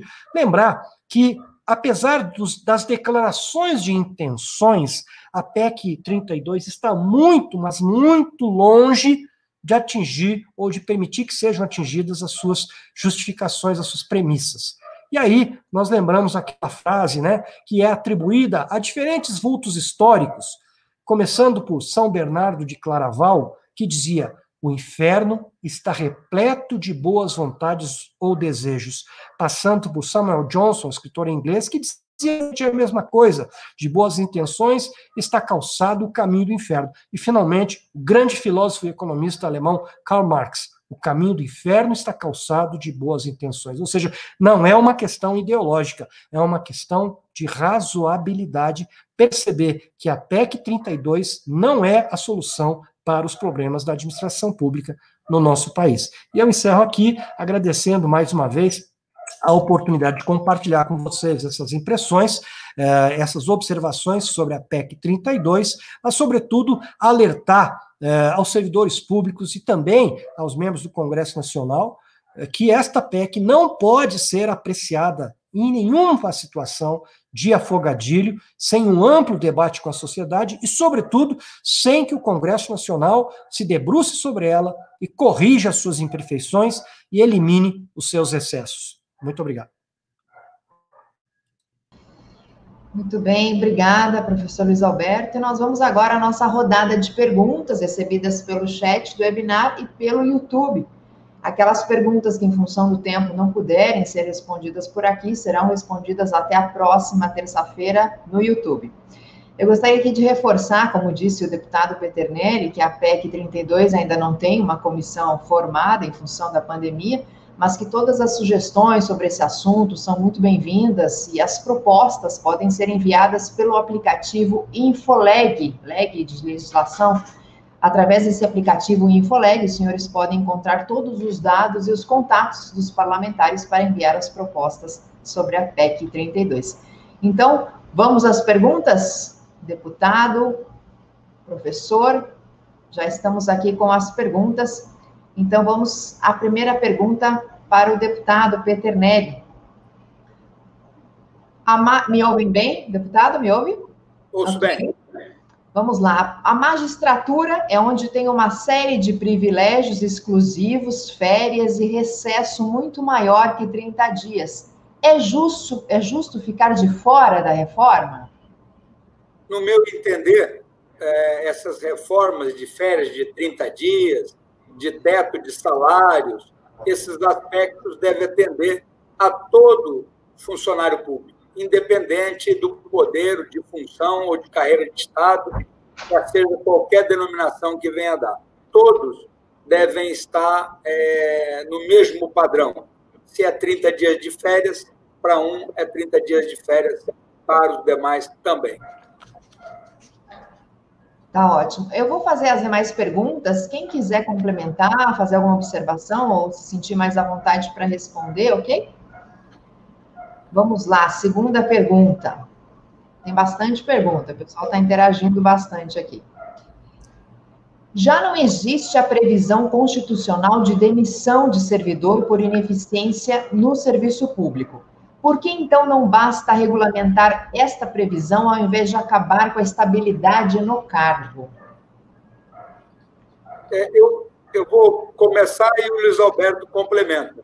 Foi, inclusive, a proposta que eu apresentei na conclusão, que é exatamente você regulamentar essa demissão por ineficiência, ouvindo a sociedade, ouvindo os técnicos, e seria um ponto né, que já tem todo o respaldo adequado, buscando a eficiência do serviço público, sem alterar os aspectos da estabilidade. Bom, eu queria acrescentar o que o deputado general Peternelli acaba de dizer, apenas o seguinte: em 1998, concluída a tramitação da, da reforma administrativa, o chefe do Poder Executivo, o presidente Fernando Henrique Cardoso, encaminhou ao Congresso Nacional o projeto de lei complementar número 248, que foi aprovado em 99 pela Câmara dos Deputados, com alterações profundas, porque o projeto original era extremamente precário, muito ruim, em relação ao próprio rol de atividades exclusivas de Estado, nem mesmo os auditores fiscais da Receita Federal eram considerados. Vejam o projeto que o governo encaminhou ao Congresso para dizer que era atividade exclusiva de Estado. Era só diplomacia, advocacia pública e a polícia. Mais ninguém. Esse projeto foi ampliado, foi estendido a várias outras categorias, foi para o Senado. O Senado, então, aprovou e o relator no Senado incorporou ainda outras categorias. O texto foi aprovado, voltou para a Câmara dos Deputados, passou pela Comissão de Trabalho de Administração e Serviço Público, que aprovou, é, que rejeitou, aliás, as emendas do Senado, e desde então esse projeto nunca foi apreciado pelo plenário da Câmara dos Deputados. Em 2017, a senadora Maria do Carmo Alves, que inclusive acaba de perder o seu esposo, o ex-governador João Alves, do estado de Sergipe, a senadora Maria do Carmo apresentou um projeto de iniciativa própria dela, não do governo, regulamentando a demissão por insuficiência de desempenho. Esse projeto foi aprovado na Comissão de Constituição e Justiça do Senado. O relator foi o senador Lazier Martins. Ele fez lá algumas alterações, eh, poucas alterações, eh, e esse projeto aguarda apreciação pelo plenário do Senado Federal. Entre os dois projetos, eu não tenho a menor dúvida de que o texto que resulta da, da, tramitação inicial do projeto de lei do Executivo, projeto de lei 248, é melhor do que o texto do Senado. O projeto do Senado, no entanto, ainda pode ser melhorado, ou no plenário, ou pela própria Câmara dos Deputados, embora ele tenha um problema. Ele é de, deputado, é de iniciativa parlamentar, e, ao meu ver, isso é, tem vício de iniciativas. Deveria ser um projeto do governo. Mas o governo não fez um projeto. O governo aposta na solução mais complicada, que é acabar com a estabilidade. É bem provável, deputado, que isso não passe no Congresso. Não passe, porque é indefensável acabar com a estabilidade no serviço público. Todos nós temos preocupação, claro, com a lisura, regularidade, transparência, seriedade dos processos de avaliação de desempenho. Mas é uma atitude que envolve capacidade de gestão, profissionalismo da gestão pública de fazer com que essas avaliações sejam adequadas, corretas. Ninguém admitiria a hipótese de um servidor ser demitido eh, por perseguição do chefe a pretexto de que ele teve mau desempenho. Mas também ninguém defende a ideia de um servidor público vagabundo, desidioso, faltoso, irresponsável, que eh, só apronta confusão ou até mesmo que comete ato de improbidade, permanecer no serviço público. Aliás, é importante lembrar que nos últimos eh, 15 anos, a quantidade de expulsões de servidores públicos envolvidos em atos de improbidade ou por desídia foi bastante significativa. Está lá os dados da Controladoria Geral da União. Então não é a questão de não poder demitir, é uma questão de como demitir quem precisa realmente ser demitido. Mas extinguir a estabilidade, mexendo na Constituição e com esse alcance que a PEC propõe, é, ao meu ver, uma enorme irresponsabilidade, particularmente que se tratando de um país como é o Brasil, com 5.600 municípios, em que hoje nós temos um partido, amanhã temos outro, depois um prefeito é, bom, outro um prefeito ruim, e assim vai. Então, é muita irresponsabilidade abrir esse caminho a uma gestão pública que não está preparada para o fim da estabilidade.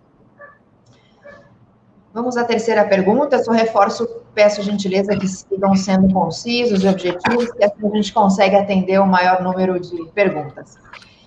Não é temerário que os cargos típicos de Estado não sejam definidos na Constituição Federal, ficando à mercê de mudanças por um processo legislativo de aprovação mais simplificado, tornando, portanto, esses cargos mais vulneráveis às mudanças de governo?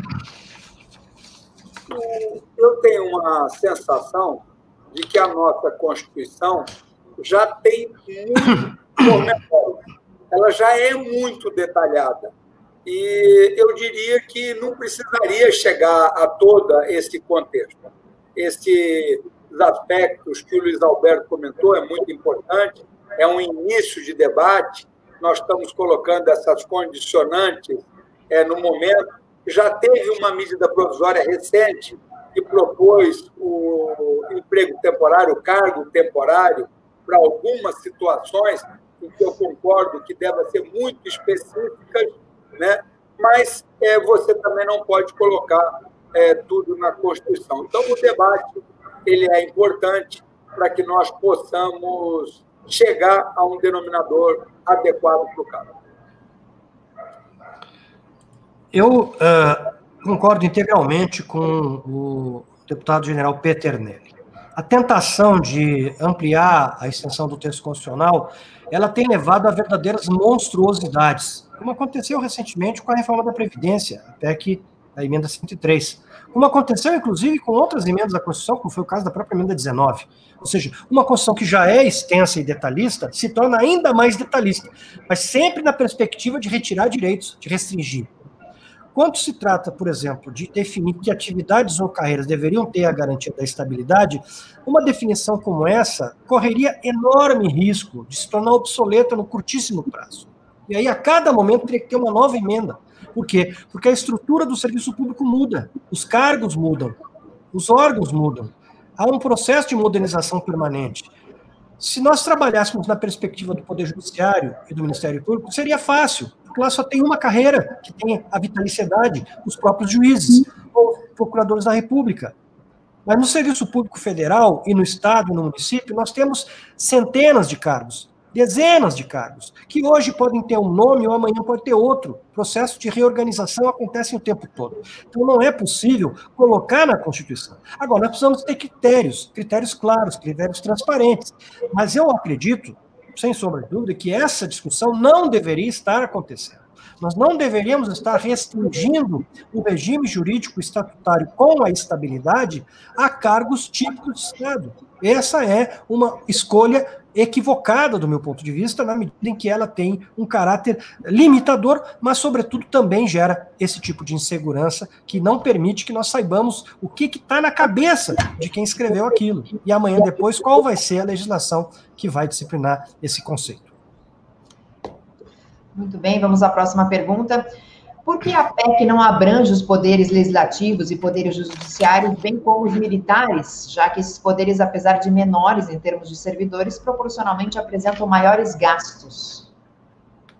O, no caso, quando abrange aí os demais poderes, o Luiz Alberto até comentou é, do projeto de lei de vício é, de atividade. É uma coisa a considerar, mas poderia eventualmente é, discutir. Quando se aborda o contexto dos militares, eu também sempre indago isso, mas é, são regimes distintos, porque muitas vezes também, se você fosse englobar como um todo, aí teria hora extra, aí teria é, o descanso, lá no serviço militar, no caso das Forças Armadas, a pessoa tira o serviço a noite inteira e continua trabalhando no dia seguinte. Em outros locais tem um intervalo longo, então, se você fosse alterar como um todo, ficaria mais complexo. E alguns aspectos, como eu mesmo citei, nas Forças Armadas, em especial no Exército, eu conheço melhor, nós temos uma base, uma estrutura de cargos temporários que funciona muito bem. Então, são aspectos diferentes. Mas eu acredito que todos têm que ter a visão em alguns pontos, como teto, férias de 30 dias e outros aspectos, não pode ter distinção em nenhum funcionário, funcionário público ou militar. Eu gostaria de acrescentar a, a fala do general Peternelli que essa discussão está muito mal posta. Para começo de conversa, só os magistrados, os membros de Ministério Público e os militares é que estão fora. Primeiro que deputado e senador não é servidor público, nunca foi, nunca será. É um agente político, então é outra conversa. Nós estamos falando de servidor público quando tratamos de um parlamentar. Quando nós tratamos de um magistrado, quando nós tratamos de um membro do Ministério Público ou de um militar, sim, nós estamos falando de um servidor público que é de carreira, pode chegar até, inclusive, em alguns casos, ao generalato, pode chegar a ser juiz, é, ministro supremo ou do Tribunal Superior de Justiça, etc, etc. Mas é um, é um servidor público em sentido amplo. A emenda constitucional número 18 do presidente Itamar Franco mudou o conceito de servidor público. Desde então, os militares não são mais servidores públicos. A Constituição de 88 dizia servidor público civil, servidor público militar. A emenda 18 diz: não, militar não é servidor, militar é militar. Ponto. Forças Armadas e polícias militares e corpos de bombeiros não são mais considerados servidores. Qual o sentido disso? Na época foi de desvincular o reajuste dos militares e dos civis, que até ali tinha que ser igual a história dos famosos 28,86%, aquele reajuste que o Itamar deu em janeiro de 93, gerou um passivo judicial que até hoje tem servidores disputando na justiça o reajuste diferenciado que foi dado entre civis e militares em janeiro de 93. Então, para não ter mais aquele problema, o governo disse: não, vamos mudar esse conceito. Então, os militares não são mais tratados servidores. E foi assim que o governo pensou: disse, olha, eu vou deixar de fora os militares, que é outra história, é outro regime, é outra carreira completamente diferente, deixa eles lá. mas fez uma modificaçãozinha ali, ó. Os militares vão poder acumular o cargo militar com cargo de magistério, com cargo na área da saúde. Por quê? Porque a justiça disse que não pode, que a Constituição não deixa. Então tá, para eles dá uma abertura. Para os outros eu não vou dar abertura, eu vou fechar. Então são os servidores públicos. Mas vejam, são os servidores dos três poderes: judiciário, legislativo e executivo. Então, não é essa a história. Ah, eu não posso mexer nas regras dos outros poderes. Não só pode, como mexe o tempo todo. O regime jurídico único é de iniciativa privativa do chefe do Poder Executivo e ele se aplica para os três poderes. E vai continuar sendo assim. O regime jurídico, sem estabilidade, também vai ser disciplinado por iniciativa do chefe do Poder Executivo. Vai continuar na mão do chefe do Poder Executivo disciplinar regime jurídico de servidor público. Agora, as peculiaridades de cada carreira, aí sim, iniciativa privativa. Se vai ter um cargo A ou um cargo B, quantos vão ser? Iniciativa privativa de cada poder. Mas o conjunto das regras, esses são aplicáveis a todos os servidores públicos. Então, o pau que bate em Chico, bate em Francisco, do Poder Legislativo, Judiciário e Executivo. Muito bem, vamos aqui a outra pergunta. Como será garantido que novos servidores que ingressarem no serviço público por critérios distintos do concurso público sejam escolhidos por critérios meramente políticos ao invés de melhor qualificação para o cargo? O, a proposta da PEC, né, nesses aspectos é, dos, dos cargos tipo de Estado e do indeterminado, ele praticamente não altera o contexto atual, ele só acrescenta esses períodos em que já se fez referência aos mesmos, de um ano ou de dois anos, como período mínimo para aquelas atividades, e, logicamente, vão seguir todos os trâmites é, necessários para isso. Nos cargos de temporário, ele também não elimina que você execute uma seleção e também dê transparência a essa seleção. E nos demais cargos de confiança que foi abordado, a intenção é que se você contratasse determinada pessoa para determinado cargo ou determinada função, tinha que ter, logicamente, a habilitação, toda a comprovação que o habilitasse para aquela função. Então, é, fora esses contextos de cargo que vai se escolher e que foi feita a referência anteriormente somente para cargo de direção, e agora entrou também um cargo técnico, né, é que nesse tem uma escolha que fica vinculado à, à parte política, vamos assim dizer. Mas mesmo essa escolha política, ela tem que ter todo um respaldo de conhecimento para a função que vai desempenhar.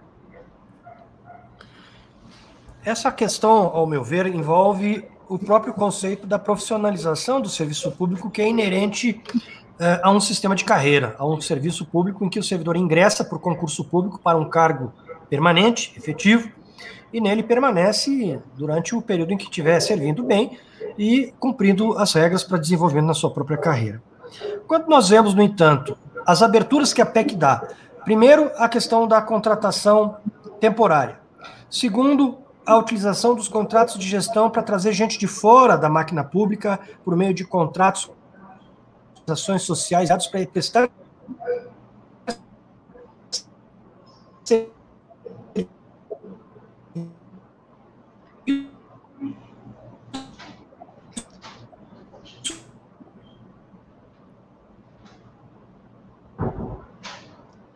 Acho que perdemos a conexão com o professor. Deputado, o senhor gostaria de acrescentar alguma coisa? Posso ir à próxima pergunta até o retornar? Já abordamos, quando o professor retornar no contato, tá vai inserindo e vamos prosseguir, então, aí dentro do nosso tempo, respondendo a mais perguntas. Já temos de volta. O professor nos ouve? Sim, tive um problema de internet aqui, mas já voltou. Então, como eu, como, eu, como eu, sim, sim. Como eu falava, quando nós temos aí a possibilidade de aumento das possibilidades de uso da própria terceirização a partir da reforma trabalhista, que extinguiu a distinção entre atividade fim e atividade meio para esse efeito. E quando nós vemos a abertura que se dá ao uso de cargos em comissão, que passam a ser chamados cargos de liderança e assessoramento, para a utilização para atividades técnicas ou estratégicas, nós temos um risco tremendo, tremendo de interferência política, particularmente nos níveis estadual e municipal, utilizando-se essas diferentes formas de contratação para subverter o princípio da carreira e do serviço público profissional. Uma discussão muito importante a respeito disso é, como bem disse o general, a necessidade de nós termos regras que impeçam o dirigente de escolher alguém, um apaniguado, exclusivamente porque veste a camiseta do seu partido. O cargo de confiança deveria, sim, estar vinculado a processos meritocráticos. Recentemente, inclusive, né, é, a Frente Parlamentar é, da Reforma Administrativa é, defendeu alguns seus integrantes que deveria se adotar no Brasil um sistema de recrutamento para cargos em comissão igual ao que foi adotado em 2011 em Portugal, em que uma comissão independente faz a seleção e encaminha o nome dos selecionados para que o dirigente escolha e nomeie o cargo de confiança. Ou seja, lá, a partir desse caminho, não existe a possibilidade de alguém ser nomeado para um cargo, sei lá, no IBAMA, ou na Receita Federal, ou em qualquer outro órgão, sem ter aferido o seu mérito, sua capacidade é, enfim, a sua condição. Quando nós vemos o que tem acontecido em algumas agências reguladoras, e olhe que as agências reguladoras já têm uma lei definindo regras para a escolha de dirigentes que têm que ser aprovados pelo Senado, mas que nós vemos que pessoas que não têm qualificação para aquela função serem escolhidas, é realmente muito preocupante que a emenda constitucional amplie ainda mais essas possibilidades, trazendo aí essas novas figuras com o alcance que ela estabelece. Então, realmente é muito preocupante, sim, o aumento da, da vulnerabilidade do serviço público à mera fisiologia, clientelismo e patrimonialismo que vem atrelado ao uso dos cargos dessa natureza. Muito bem, próxima pergunta. Existem cargos que demandam anos de estudos específicos de dedicação para que o cargo seja exercido com enorme carga intelectual. Como ficarão esses cargos com o fim da estabilidade? Qual o incentivo para que uma pessoa estude, se dedique, sabendo que poderá perder o cargo a qualquer momento? Eu entendo que esses cargos que não têm estabilidade, aqueles funcionários contratados por prazo indeterminado, ele, para poder perder essa função, perder esse estímulo, tem que ter um fator muito regulado, muito definido, como as PECs mesmo que nós temos aí, que foi colocado, né, determinados gatilhos que chegariam em determinados pontos, e também não é muito simples, Estela, porque você verifica chegou naquele ponto, está previsto lá no extremo a, a demissão, né, ou a redução. Qual o critério para reduzir?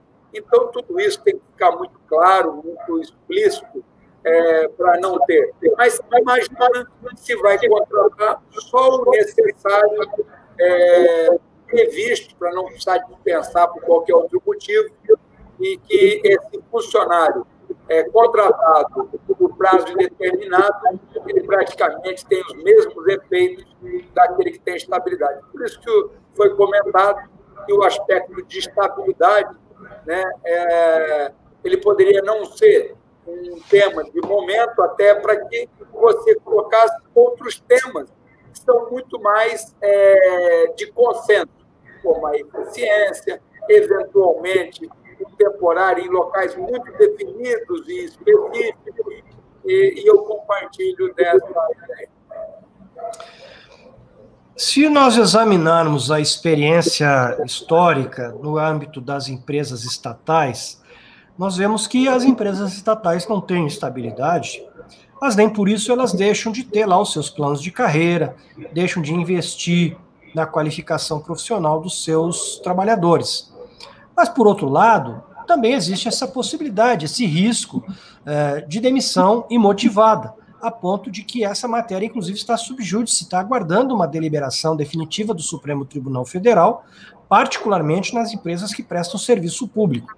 As empresas que exploram atividades econômicas, é, por definição, estão sujeitas a um ambiente concorrencial e então é um pouquinho mais natural que haja essa possibilidade da demissão uh, imotivada, na medida em que ela deixe de explorar certa atividade, feche uma unidade industrial aqui, outra ali, por exemplo, no caso uh, da Petrobras. Digamos que a Petrobras tem lá uh, trabalhadores numa determinada unidade de produção e ela fecha aquela unidade, ou ela vende aquela unidade, privatiza.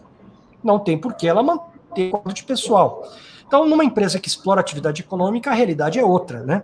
Agora, no caso do serviço público, realmente é bastante é, preocupante, né? Que nós tenhamos é, essa mudança de paradigma, precisamente porque isso vai, sim, reduzir o compromisso da administração, reduzir o compromisso dos gestores públicos com o fortalecimento, a profissionalização desse quadro de pessoal. Ou seja, é um desestímulo o fato da pessoa não ter uma perspectiva de longo prazo na carreira. Então, ah, é por prazo indeterminado, mas será infinito enquanto durar. Né? É que nem o amor, que seja infinito enquanto dure. Então, o servidor público vai ficar numa situação de muita insegurança jurídica e os órgãos certamente vão negligenciar mais ainda é, as possibilidades é, de valorizar esse servidor.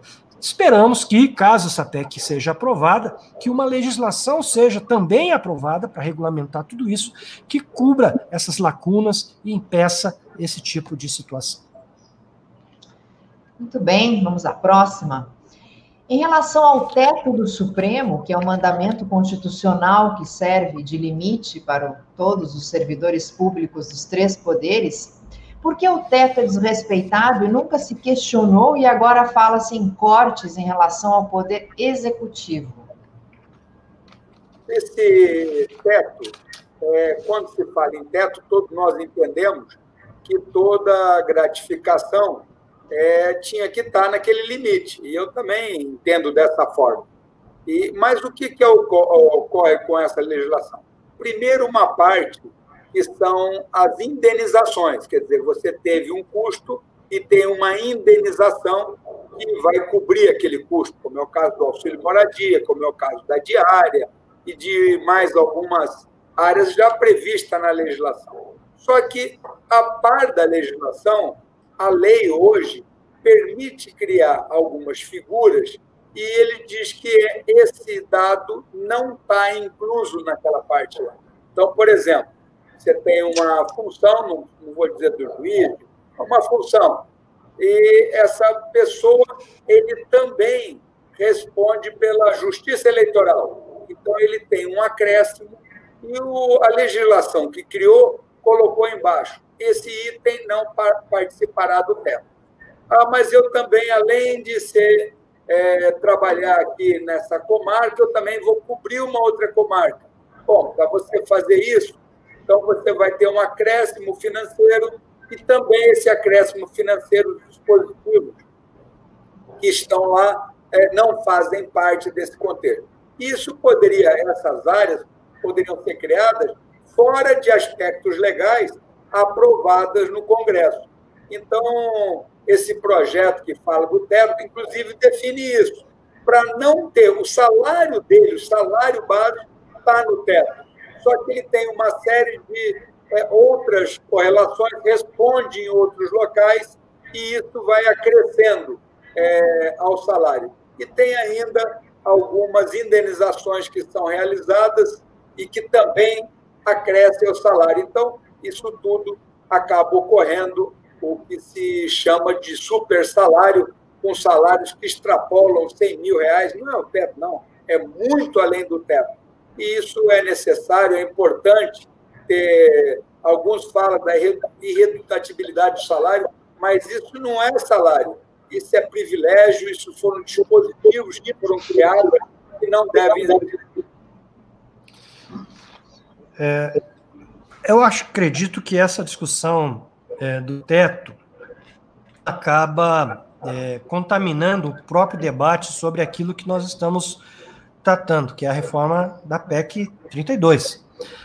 Teto é um tema, infelizmente, que já vem tendo, enfim, sendo enfrentado na nossa legislação desde meados da década de 1960. E, infelizmente, com muito pouco sucesso. O general Peternelli deve se lembrar que quando o presidente Figueiredo era presidente da República, ele tentou, por meio de um decreto-lei, estabelecer o teto. Ninguém podia ganhar mais do que o presidente da República. E não conseguiu. E não conseguiu. A Constituição estabeleceu um teto, que deveria ser o ministro de Estado em cada poder, no, executivo, enfim, tetos é, diferenciados, mas essa, essa solução também não foi respeitada, a ponto né, do, que, do teto ter se tornado, como disse o ministro Marco Aurélio, num julgamento é, famoso no Supremo Tribunal Federal, um verdadeiro queijo suíço. A emenda 19, mais uma vez, tentou resolver o problema do teto. Não, vai ter um teto único para os três poderes ministro do Supremo. Mas esse valor vai ter que ser fixado por uma lei de iniciativa comum. Essa lei nunca saiu. Aí veio a emenda 41. A emenda 41 do presidente Lula né, acabou com essa exigência. Não, tudo bem, pode ser um projeto lá feito pelo Supremo, mas tem que deixar de fora as parcelas indenizatórias que vão ser definidas em lei complementar. Até hoje não teve. Até hoje não teve. Há um projeto tramitando do Executivo na Câmara dos Deputados, tem esse outro que veio do Senado, já foi aprovado no Senado, está na Câmara, de que é relator o deputado Rubens Bueno. O deputado Rubens Bueno, reconheço, fez um bom trabalho. Ele se debruçou sobre o tema, discutiu profundamente, corrigiu imperfeições do texto oriundo do Senado, mas parece que ninguém quer votar esse projeto. Há um, acho que ele parece que tem, ele queima na mão.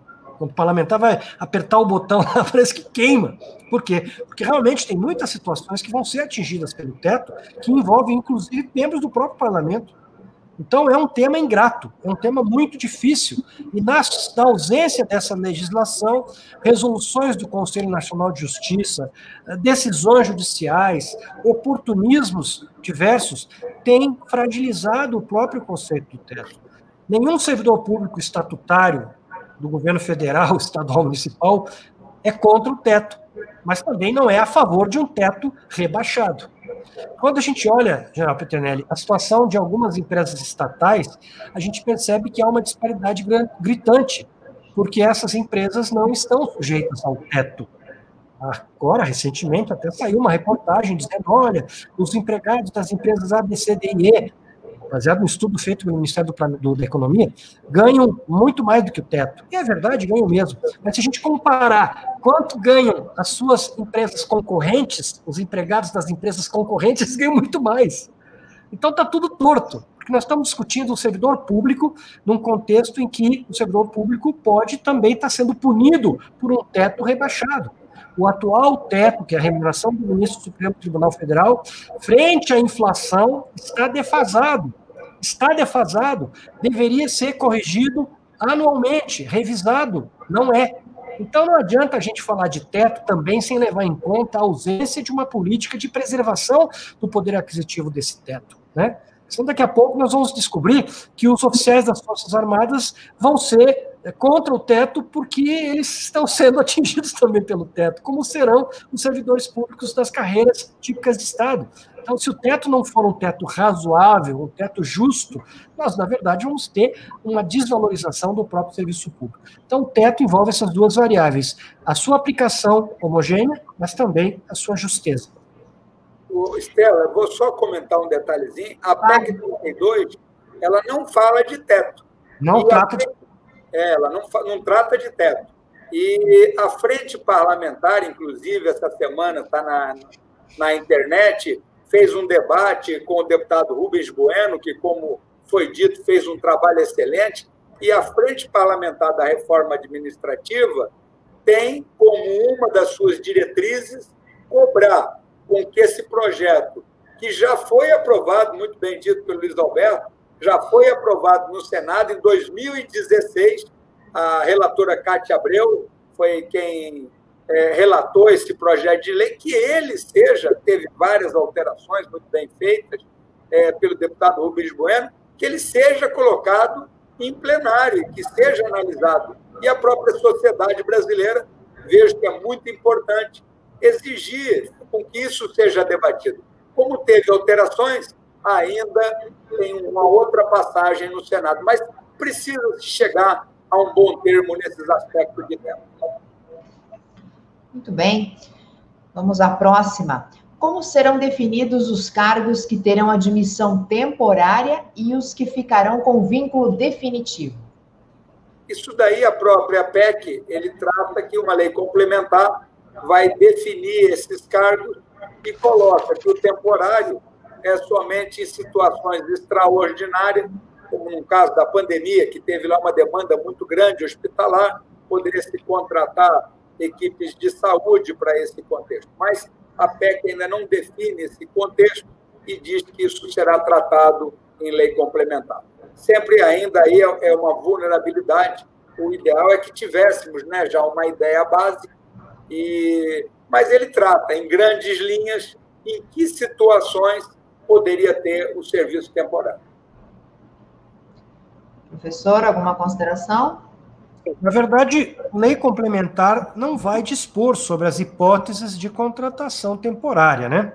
A lei complementar vai dispor sobre gestão de pessoas, no sentido amplo, mas as hipóteses de contratação temporária vão continuar sujeitas à lei ordinária. E aí nós já temos hoje uma lei, a Lei 8.745, no âmbito federal, que disciplina essas possibilidades de contratação temporária, mas hoje a contratação temporária, genericamente, né, é só para situações é, temporárias de excepcional interesse público. A emenda à Constituição ela aumenta as hipóteses de contratação temporária, trazendo três incisos disciplinando quais são essas possibilidades. Então, nós vamos ter calamidade, emergência, que já existe, paralisação de atividades essenciais ou acúmulo transitório de serviço, atividades, projetos ou necessidades de caráter temporário ou sazonal, e atividades ou procedimentos sob demanda. Então vejam que são três incisos extremamente amplos que vão permitir que essa legislação possa também ser detalhada no nível eh, de poder contratar pessoal para muitas atividades em todos os órgãos da administração pública, praticamente ah, nessas hipóteses. Realmente isso é preocupante, né, porque nós vamos ter a possibilidade de que, por meio desse instrumento, não haja mais a contratação de pessoal permanente, mas apenas de pessoal temporário. E se nós observarmos a hipótese de contratação temporária para fins de cumprimento de metas de contrato de gestão, aí que realmente vai ser complicado. Porque bastará ter um contrato de gestão, e enquanto figurar aquele contrato de gestão, o órgão vai poder contratar pessoal temporário para todas as atividades vinculadas ao cumprimento daquelas metas. Então, realmente é uma abertura muito ampla e que vai ser, no fim, realmente disciplinada por uma simples lei ordinária. Muito bem. Temos aqui outra pergunta. É comum no Brasil decisões judiciais de segunda instância serem revertidas posteriormente. Permitir a decisão de segunda instância demitir um servidor não abre margem para perseguição e insegurança? a legislação ela coloca esse contexto é, colegiado, que seria a segunda instância. Mas eu gostaria de salientar, nós temos lá inclusive uma comissão especial que trata desse assunto de segunda instância. O Brasil é um dos poucos países do mundo que tem quatro instâncias. E muitas vezes você verifica que ações administrativas ou penais, elas acabam não sendo cumpridas, você tem muitas, muitos crimes que acabam prescrevendo. Então, é importante, é, no meu entender, nós temos duas instâncias e quando nós executamos isso, nós tornamos a justiça mais ágil. E também ocorre, eu verifico, uma importância do juiz de primeira e de segunda instância. Porque hoje, muitas vezes, fala assim, ah, se perder, perdeu, eu vou para a terceira. Então, é, acho que duas instâncias é mais do que o suficiente. E ainda, agora, recentemente, tivemos o juiz de garantia, eu brinco que é mais uma instância entre a primeira e a segunda, por assim dizer. Se você tem determinado é, processo e você precisou autorizar alguma escuta, alguma busca, alguma quebra de sigilo bancário, algum contexto, esse juiz não pode mais julgar esse processo. Vai passar para um outro juiz daquela instância. É, praticamente você tem aí processos que têm volumes de 10 mil páginas, você passa novamente, essa justiça vai se tornar mais morosa. Então, não se trata somente do, do funcionário público ou disso daí. E repara que numa segunda instância, por isso que diz que é uma decisão colegiada, numa primeira instância o juiz deu uma decisão. Numa segunda instância, você tem vários juízes dando uma decisão. Então, sabendo esses juízes que aquela decisão dele é, também é a final, não resta dúvida que terá uma preocupação por todos e tendo o que todos nós desejamos, que é uma justiça mais célere, mais ágil e mais eficiente. É, eu tenho uma divergência em relação a isso, porque, inclusive, há uma discussão a respeito é, da própria constitucionalidade da supressão de instância, ou seja, até que ponto, e aí particularmente no campo do direito penal, né, a garantia de recurso ao Supremo Tribunal Federal é ou não é uma cláusula pétrea. Mas mais do que isso, a simples supressão de instância não agiliza o poder judiciário. Ela pode eventualmente até diminuir o número de causas que vão chegar as últimas instâncias, as instâncias superiores, Superior Tribunal de Justiça, Supremo Tribunal Federal. Mas é preciso lembrar que essas hipóteses de recurso a instâncias superiores, ela já é limitada. Por exemplo, em relação aos chamados eh, requisitos de admissibilidade desses recursos. Não é qualquer processo que pode chegar a uma instância superior em grau de recurso de uma decisão de tribunal regional, por exemplo, ou de tribunal de justiça. Portanto, a segunda instância, sendo causa eh, de extinção do, do, próprio direito ou permitir a demissão do servidor, ainda que ela não impeça a continuidade desses recursos, na verdade gera já um fato consumado, porque o servidor será demitido sem uma decisão transitada em julgado. É mais ou menos o mesmo princípio né, que está em discussão quanto à matéria penal de alguém ser preso, portanto, privado da liberdade, sem que haja uma decisão transitada em julgado. Me parece que é o mesmíssimo princípio. E aí eu não vejo ganho para a sociedade em ter um servidor demitido quando ainda existe um recurso a ser apreciado. É outra discussão a hipótese da celeridade do Poder Judiciário julgar esses recursos. Agora, se a ideia for que esses recursos são apenas e tão somente de caráter protelatório, para impedir que o servidor seja demitido depois de ter cometido uma irregularidade, quando já está configurada a sua culpa por uma decisão de segunda instância, aí nós temos que discutir outra questão. É por que, que o judiciário continua sendo tão lento ao apreciar recursos que, por definição, já são uh, limitados processualmente. Muito bem, vamos à última pergunta direcionada agora especificamente ao deputado Peternelli, se o senhor tem intenção, pretende participar da comissão da PEC. Eu tenho a intenção de participar do máximo de decisões que a Câmara possa participar dentro do que a minha equipe, do que eu posso executar. Então, eu vejo a reforma administrativa importante, da mesma forma que a reforma tributária, participo da frente da reforma administrativa, vejo que esse diálogo, no final, de qualquer forma, eu tenho que estar conhecendo muito bem aquele assunto para poder fazer o julgamento dele no plenário. E debates como esse que nós estamos tendo agora, né, ele sempre enriquece esse conhecimento e permite a decisão do parlamentar em melhores condições. Então, é, dentro desse contexto, quando se monta uma comissão, é muito importante também dizer um, um outro fator para aqueles que estão participando. Quando se monta uma comissão, o presidente da Câmara decide, lá por vários fatores, ah, os membros dessa comissão. E esses membros eles são divididos proporcionalmente à quantidade entre os partidos da Câmara. Então, proporcional ao número de deputados, tem o número de membros naquela equipe.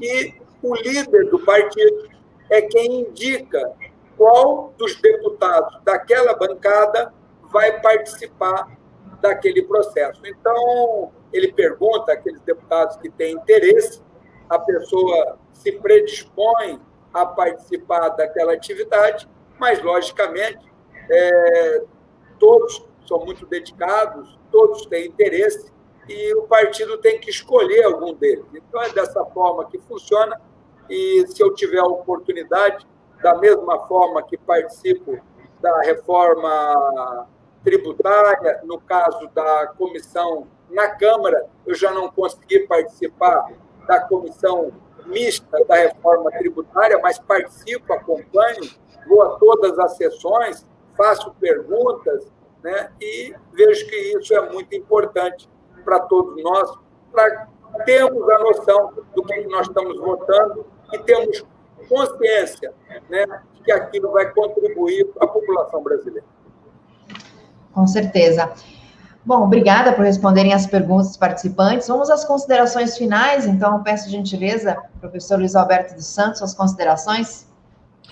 Bem, mais uma vez, um, uma satisfação poder ter participado aqui desse evento, desse debate com o general Peternelli, trocando ideias e impressões a respeito do tema que é da maior importância, não apenas para nós, servidores públicos, mas para a sociedade brasileira. Existe muitas vezes essa visão, esse antagonismo entre o cidadão e o serviço público, né? Porque, infelizmente, ainda há problemas na qualidade desses serviços prestados à sociedade, ah, há uma visão de que o servidor público é um privilegiado, ou às vezes até, e isso é muito explorado pelo governo na perspectiva do assédio institucional, de que o servidor público não trabalha, não se esforça, não produz, mas, na verdade, sem servidor público, não existe serviço público, e o cidadão estaria completamente vulnerável, completamente abandonado uh, diante das forças do mercado. Então, é o Estado, sim, que na hora da pandemia vai lá e garante. Não é apenas o servidor público civil, mas, enfim, as Forças Armadas que estão ali presentes, resolvendo os problemas estratégicos, logísticos, de provisão de serviços públicos. São as empresas estatais que atuam onde o mercado muitas vezes não quer trabalhar não podem ser tratados como um empecilho, muito pelo contrário, são instrumentos de desenvolvimento social, de desenvolvimento econômico, de promoção da cidadania. Então, nós precisamos é, dialogar com a sociedade e eventos como esse nos permitem que esse diálogo seja estabelecido. Então, parabenizo o Sindifisco São Paulo pela iniciativa e espero que durante a tramitação dessa PEC, se ela tiver realmente essa tramitação, eh, e especialmente ao longo do próximo ano, né, já que nós ainda estamos diante de um quadro de pandemia em que as comissões não estão sendo instaladas e não estão funcionando, que nós possamos aprofundar esse debate e trazer as nossas preocupações aos membros do Congresso Nacional para que o resultado seja o melhor possível. Muito obrigado, então. Obrigada, professor. Deputado? Eu gostaria sempre de agradecer essa oportunidade que sempre enriquece a todos nós. Eu acredito na reforma administrativa que seja executada por etapas, né? Esse teto, eu digo que é uma etapa, a regulamentação da demissão por ineficiência, eu acho que é mais uma etapa, e aos poucos nós vamos buscando aquilo que todos nós desejamos, que é um serviço público eficiente. E o funcionário público, foi muito colocado, ele é a estrutura dorsal é, de uma nação. É dele que sai toda a estrutura, quer seja do executivo, do judiciário e, e do legislativo, que complementa a vida do cidadão, que permite que ele tenha as qualidades né, adequadas é, daquilo que ele deseja.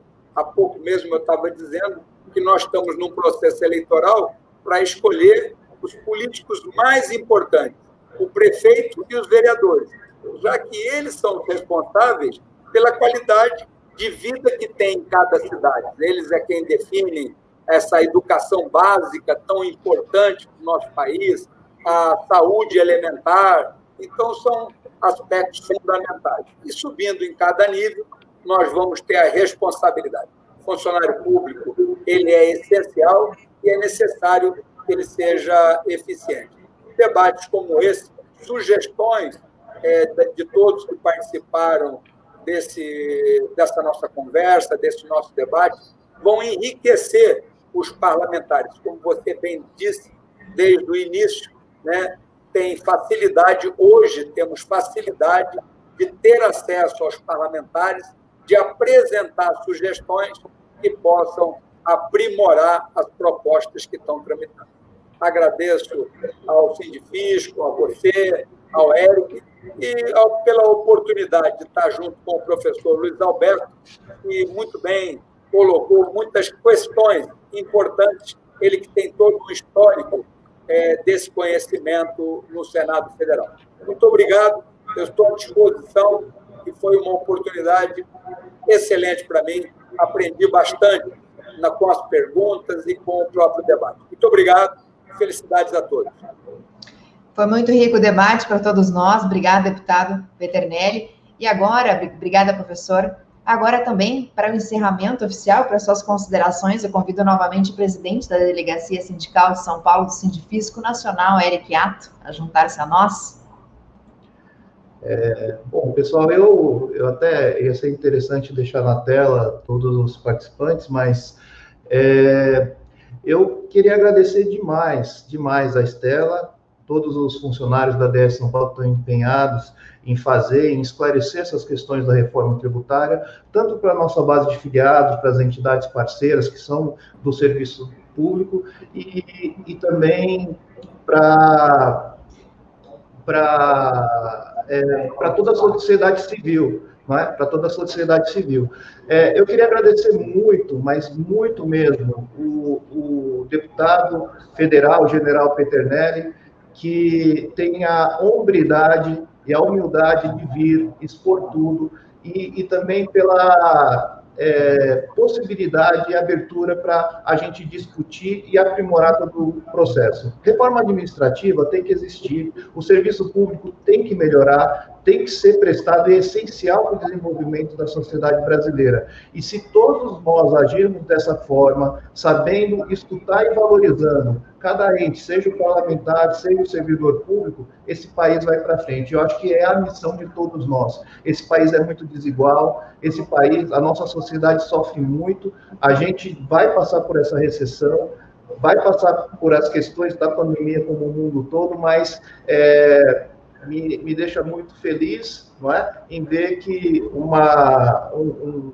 um, um congressista, né, um deputado e general, não é, tem a humildade de vir, está aberto a escutar e também parabenizar demais o, o professor, não é, é, pela, pela clareza e pela forma como expôs as coisas. Acho que o evento foi maravilhoso e agradeço muito a participação mesmo. Nós estamos muito felizes com o evento. O meu avô sempre dizia uma palavra simples, né? É pior do que não ler jornal é ler um só. E a gente ficar escutando de um lado só ou de outro não adianta. A gente tem que escutar os dois pontos e isso que essa transparência que é, enriquece todas as discussões e eu acho que isso que vai mover o país para um, um, um patamar melhor.